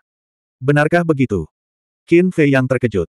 Ya, dia sudah berkali-kali mengatakan kepadaku bahwa bersamamu itu sangat menegangkan, dan bahwa aku harus bekerja keras setiap saat. Kalau tidak, jika aku tidak berhati-hati, aku akan dikalahkan olehmu. Kata Zuo Xiaoxian. Qin Fei yang tersenyum dan berkata, sekarang setelah Anda menyebutkannya, saya menjadi percaya diri lagi. Kalian berdua adalah teman yang telah melewati hidup dan mati bersama, tetapi kalian masih bersaing secara diam-diam. Putri Duyung terdiam. Kamu tidak mengerti. Anda hanya dapat berkembang lebih cepat jika Anda menghadapi lawan yang kuat. Qin Fei yang tersenyum. Zuo Xiaoxian berkata, ngomong-ngomong, Qin Dage, ayahku dan yang lainnya sepertinya sedang mencarimu. Qin Fei yang terkejut dan bertanya dengan curiga, ada apa? Aku tidak tahu.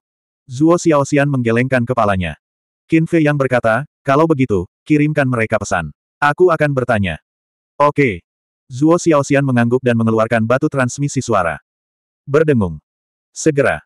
Sosok Zuo Tiansheng dan dua lainnya muncul. Salam, Paman dan Senior Yu. Qin Fei yang membungkuk. Zuo Tiansheng menilai kultivasi Qin Fei yang dan mengerutkan kening. Itu bukan terobosan. Apa yang telah kamu lakukan? Tidak apa-apa. Kenapa kamu mencariku? Qin Fei yang curiga. Kamu bersikap misterius. Memang ada sesuatu yang sangat menyusahkan, dan aku butuh kamu untuk melakukannya. Zuo Tiansheng berkata dengan suara yang dalam. Anda butuh kami untuk melakukannya. Qin Fei yang terkejut. Ya. Zuo Tiansheng mengangguk dan menjelaskan situasi Ye Tian secara singkat. Apa? Mereka mendengarnya. Zuo Xiaoxian dan Putri Duyung tidak bisa menahan diri untuk tidak menjadi pucat. Qin Fei Yang juga sedikit mengernyit dan bertanya, bagaimana dengan Istana Iblis? Mengapa mereka tidak menghentikannya? Istana Iblis. Zuo Tiansheng merenung sejenak dan menggelengkan kepalanya. Meskipun kami belum berbicara langsung dengan Istana Iblis, kami tidak dapat menebak apa yang mereka pikirkan. Pemikiran. Qin Fei Yang terkejut. Istana Iblis sangat tidak senang dengan aliansi pembudidaya nakal dan bahkan ingin menyingkirkan kita. Oleh karena itu, mereka tidak sabar menunggu kita melakukan lebih banyak hal jahat. Zuo Tiansheng menghela nafas. Jadi begitu. Qin Fei yang tersenyum. Semakin banyak kejahatan yang dilakukan aliansi pembudidaya nakal, semakin banyak orang yang tidak senang dengan mereka. Dengan cara ini, Istana Iblis akan dibenarkan untuk berurusan dengan aliansi pembudidaya nakal. Hal ini dikarenakan bangkitnya aliansi pembudidaya nakal karena adanya dukungan dari rakyat. Oleh karena itu, sebelum berhadapan dengan aliansi pembudidaya nakal, Istana Iblis harus menemukan alasan yang tepat. Dan sekarang. Pertama, Ye Yuan, dan sekarang Ye Tian. Mereka yang awalnya mendukung aliansi pembudidaya nakal telah secara bertahap mengubah pandangan mereka. Ketika aliansi pembudidaya nakal sudah benar-benar kehilangan hati rakyat, maka itulah saatnya bagi Istana Iblis untuk melenyapkan aliansi pembudidaya nakal. Kami pun memahami logika ini. Mengapa wakil pemimpin aliansi masih ingin melakukan ini? Bukankah ini akan membawa aliansi pembudidaya nakal ke jalan buntu? Qin Fei yang mengerutkan kening. Saya tidak yakin. Zuo Tiansheng menggelengkan kepalanya. Bagaimana dengan pemimpin aliansi dari aliansi pembudidaya nakal? Apakah kita akan membiarkan wakil pemimpin aliansi terus melakukan apa pun yang diinginkannya? Qin Fei yang curiga. Kami juga mencoba menghubungi pemimpin aliansi, tetapi kami tidak dapat menghubunginya. Zuo Tiansheng menghela nafas. Penguasa kota memandang Qin Fei Yang dan mendesah. Hanya kau dan si gila kecil yang bisa melakukan ini. Biarkan aku memikirkannya. Dengan itu, Qin Fei Yang meminta Zuo Xiaoxian untuk mematikan batu transmisi suara.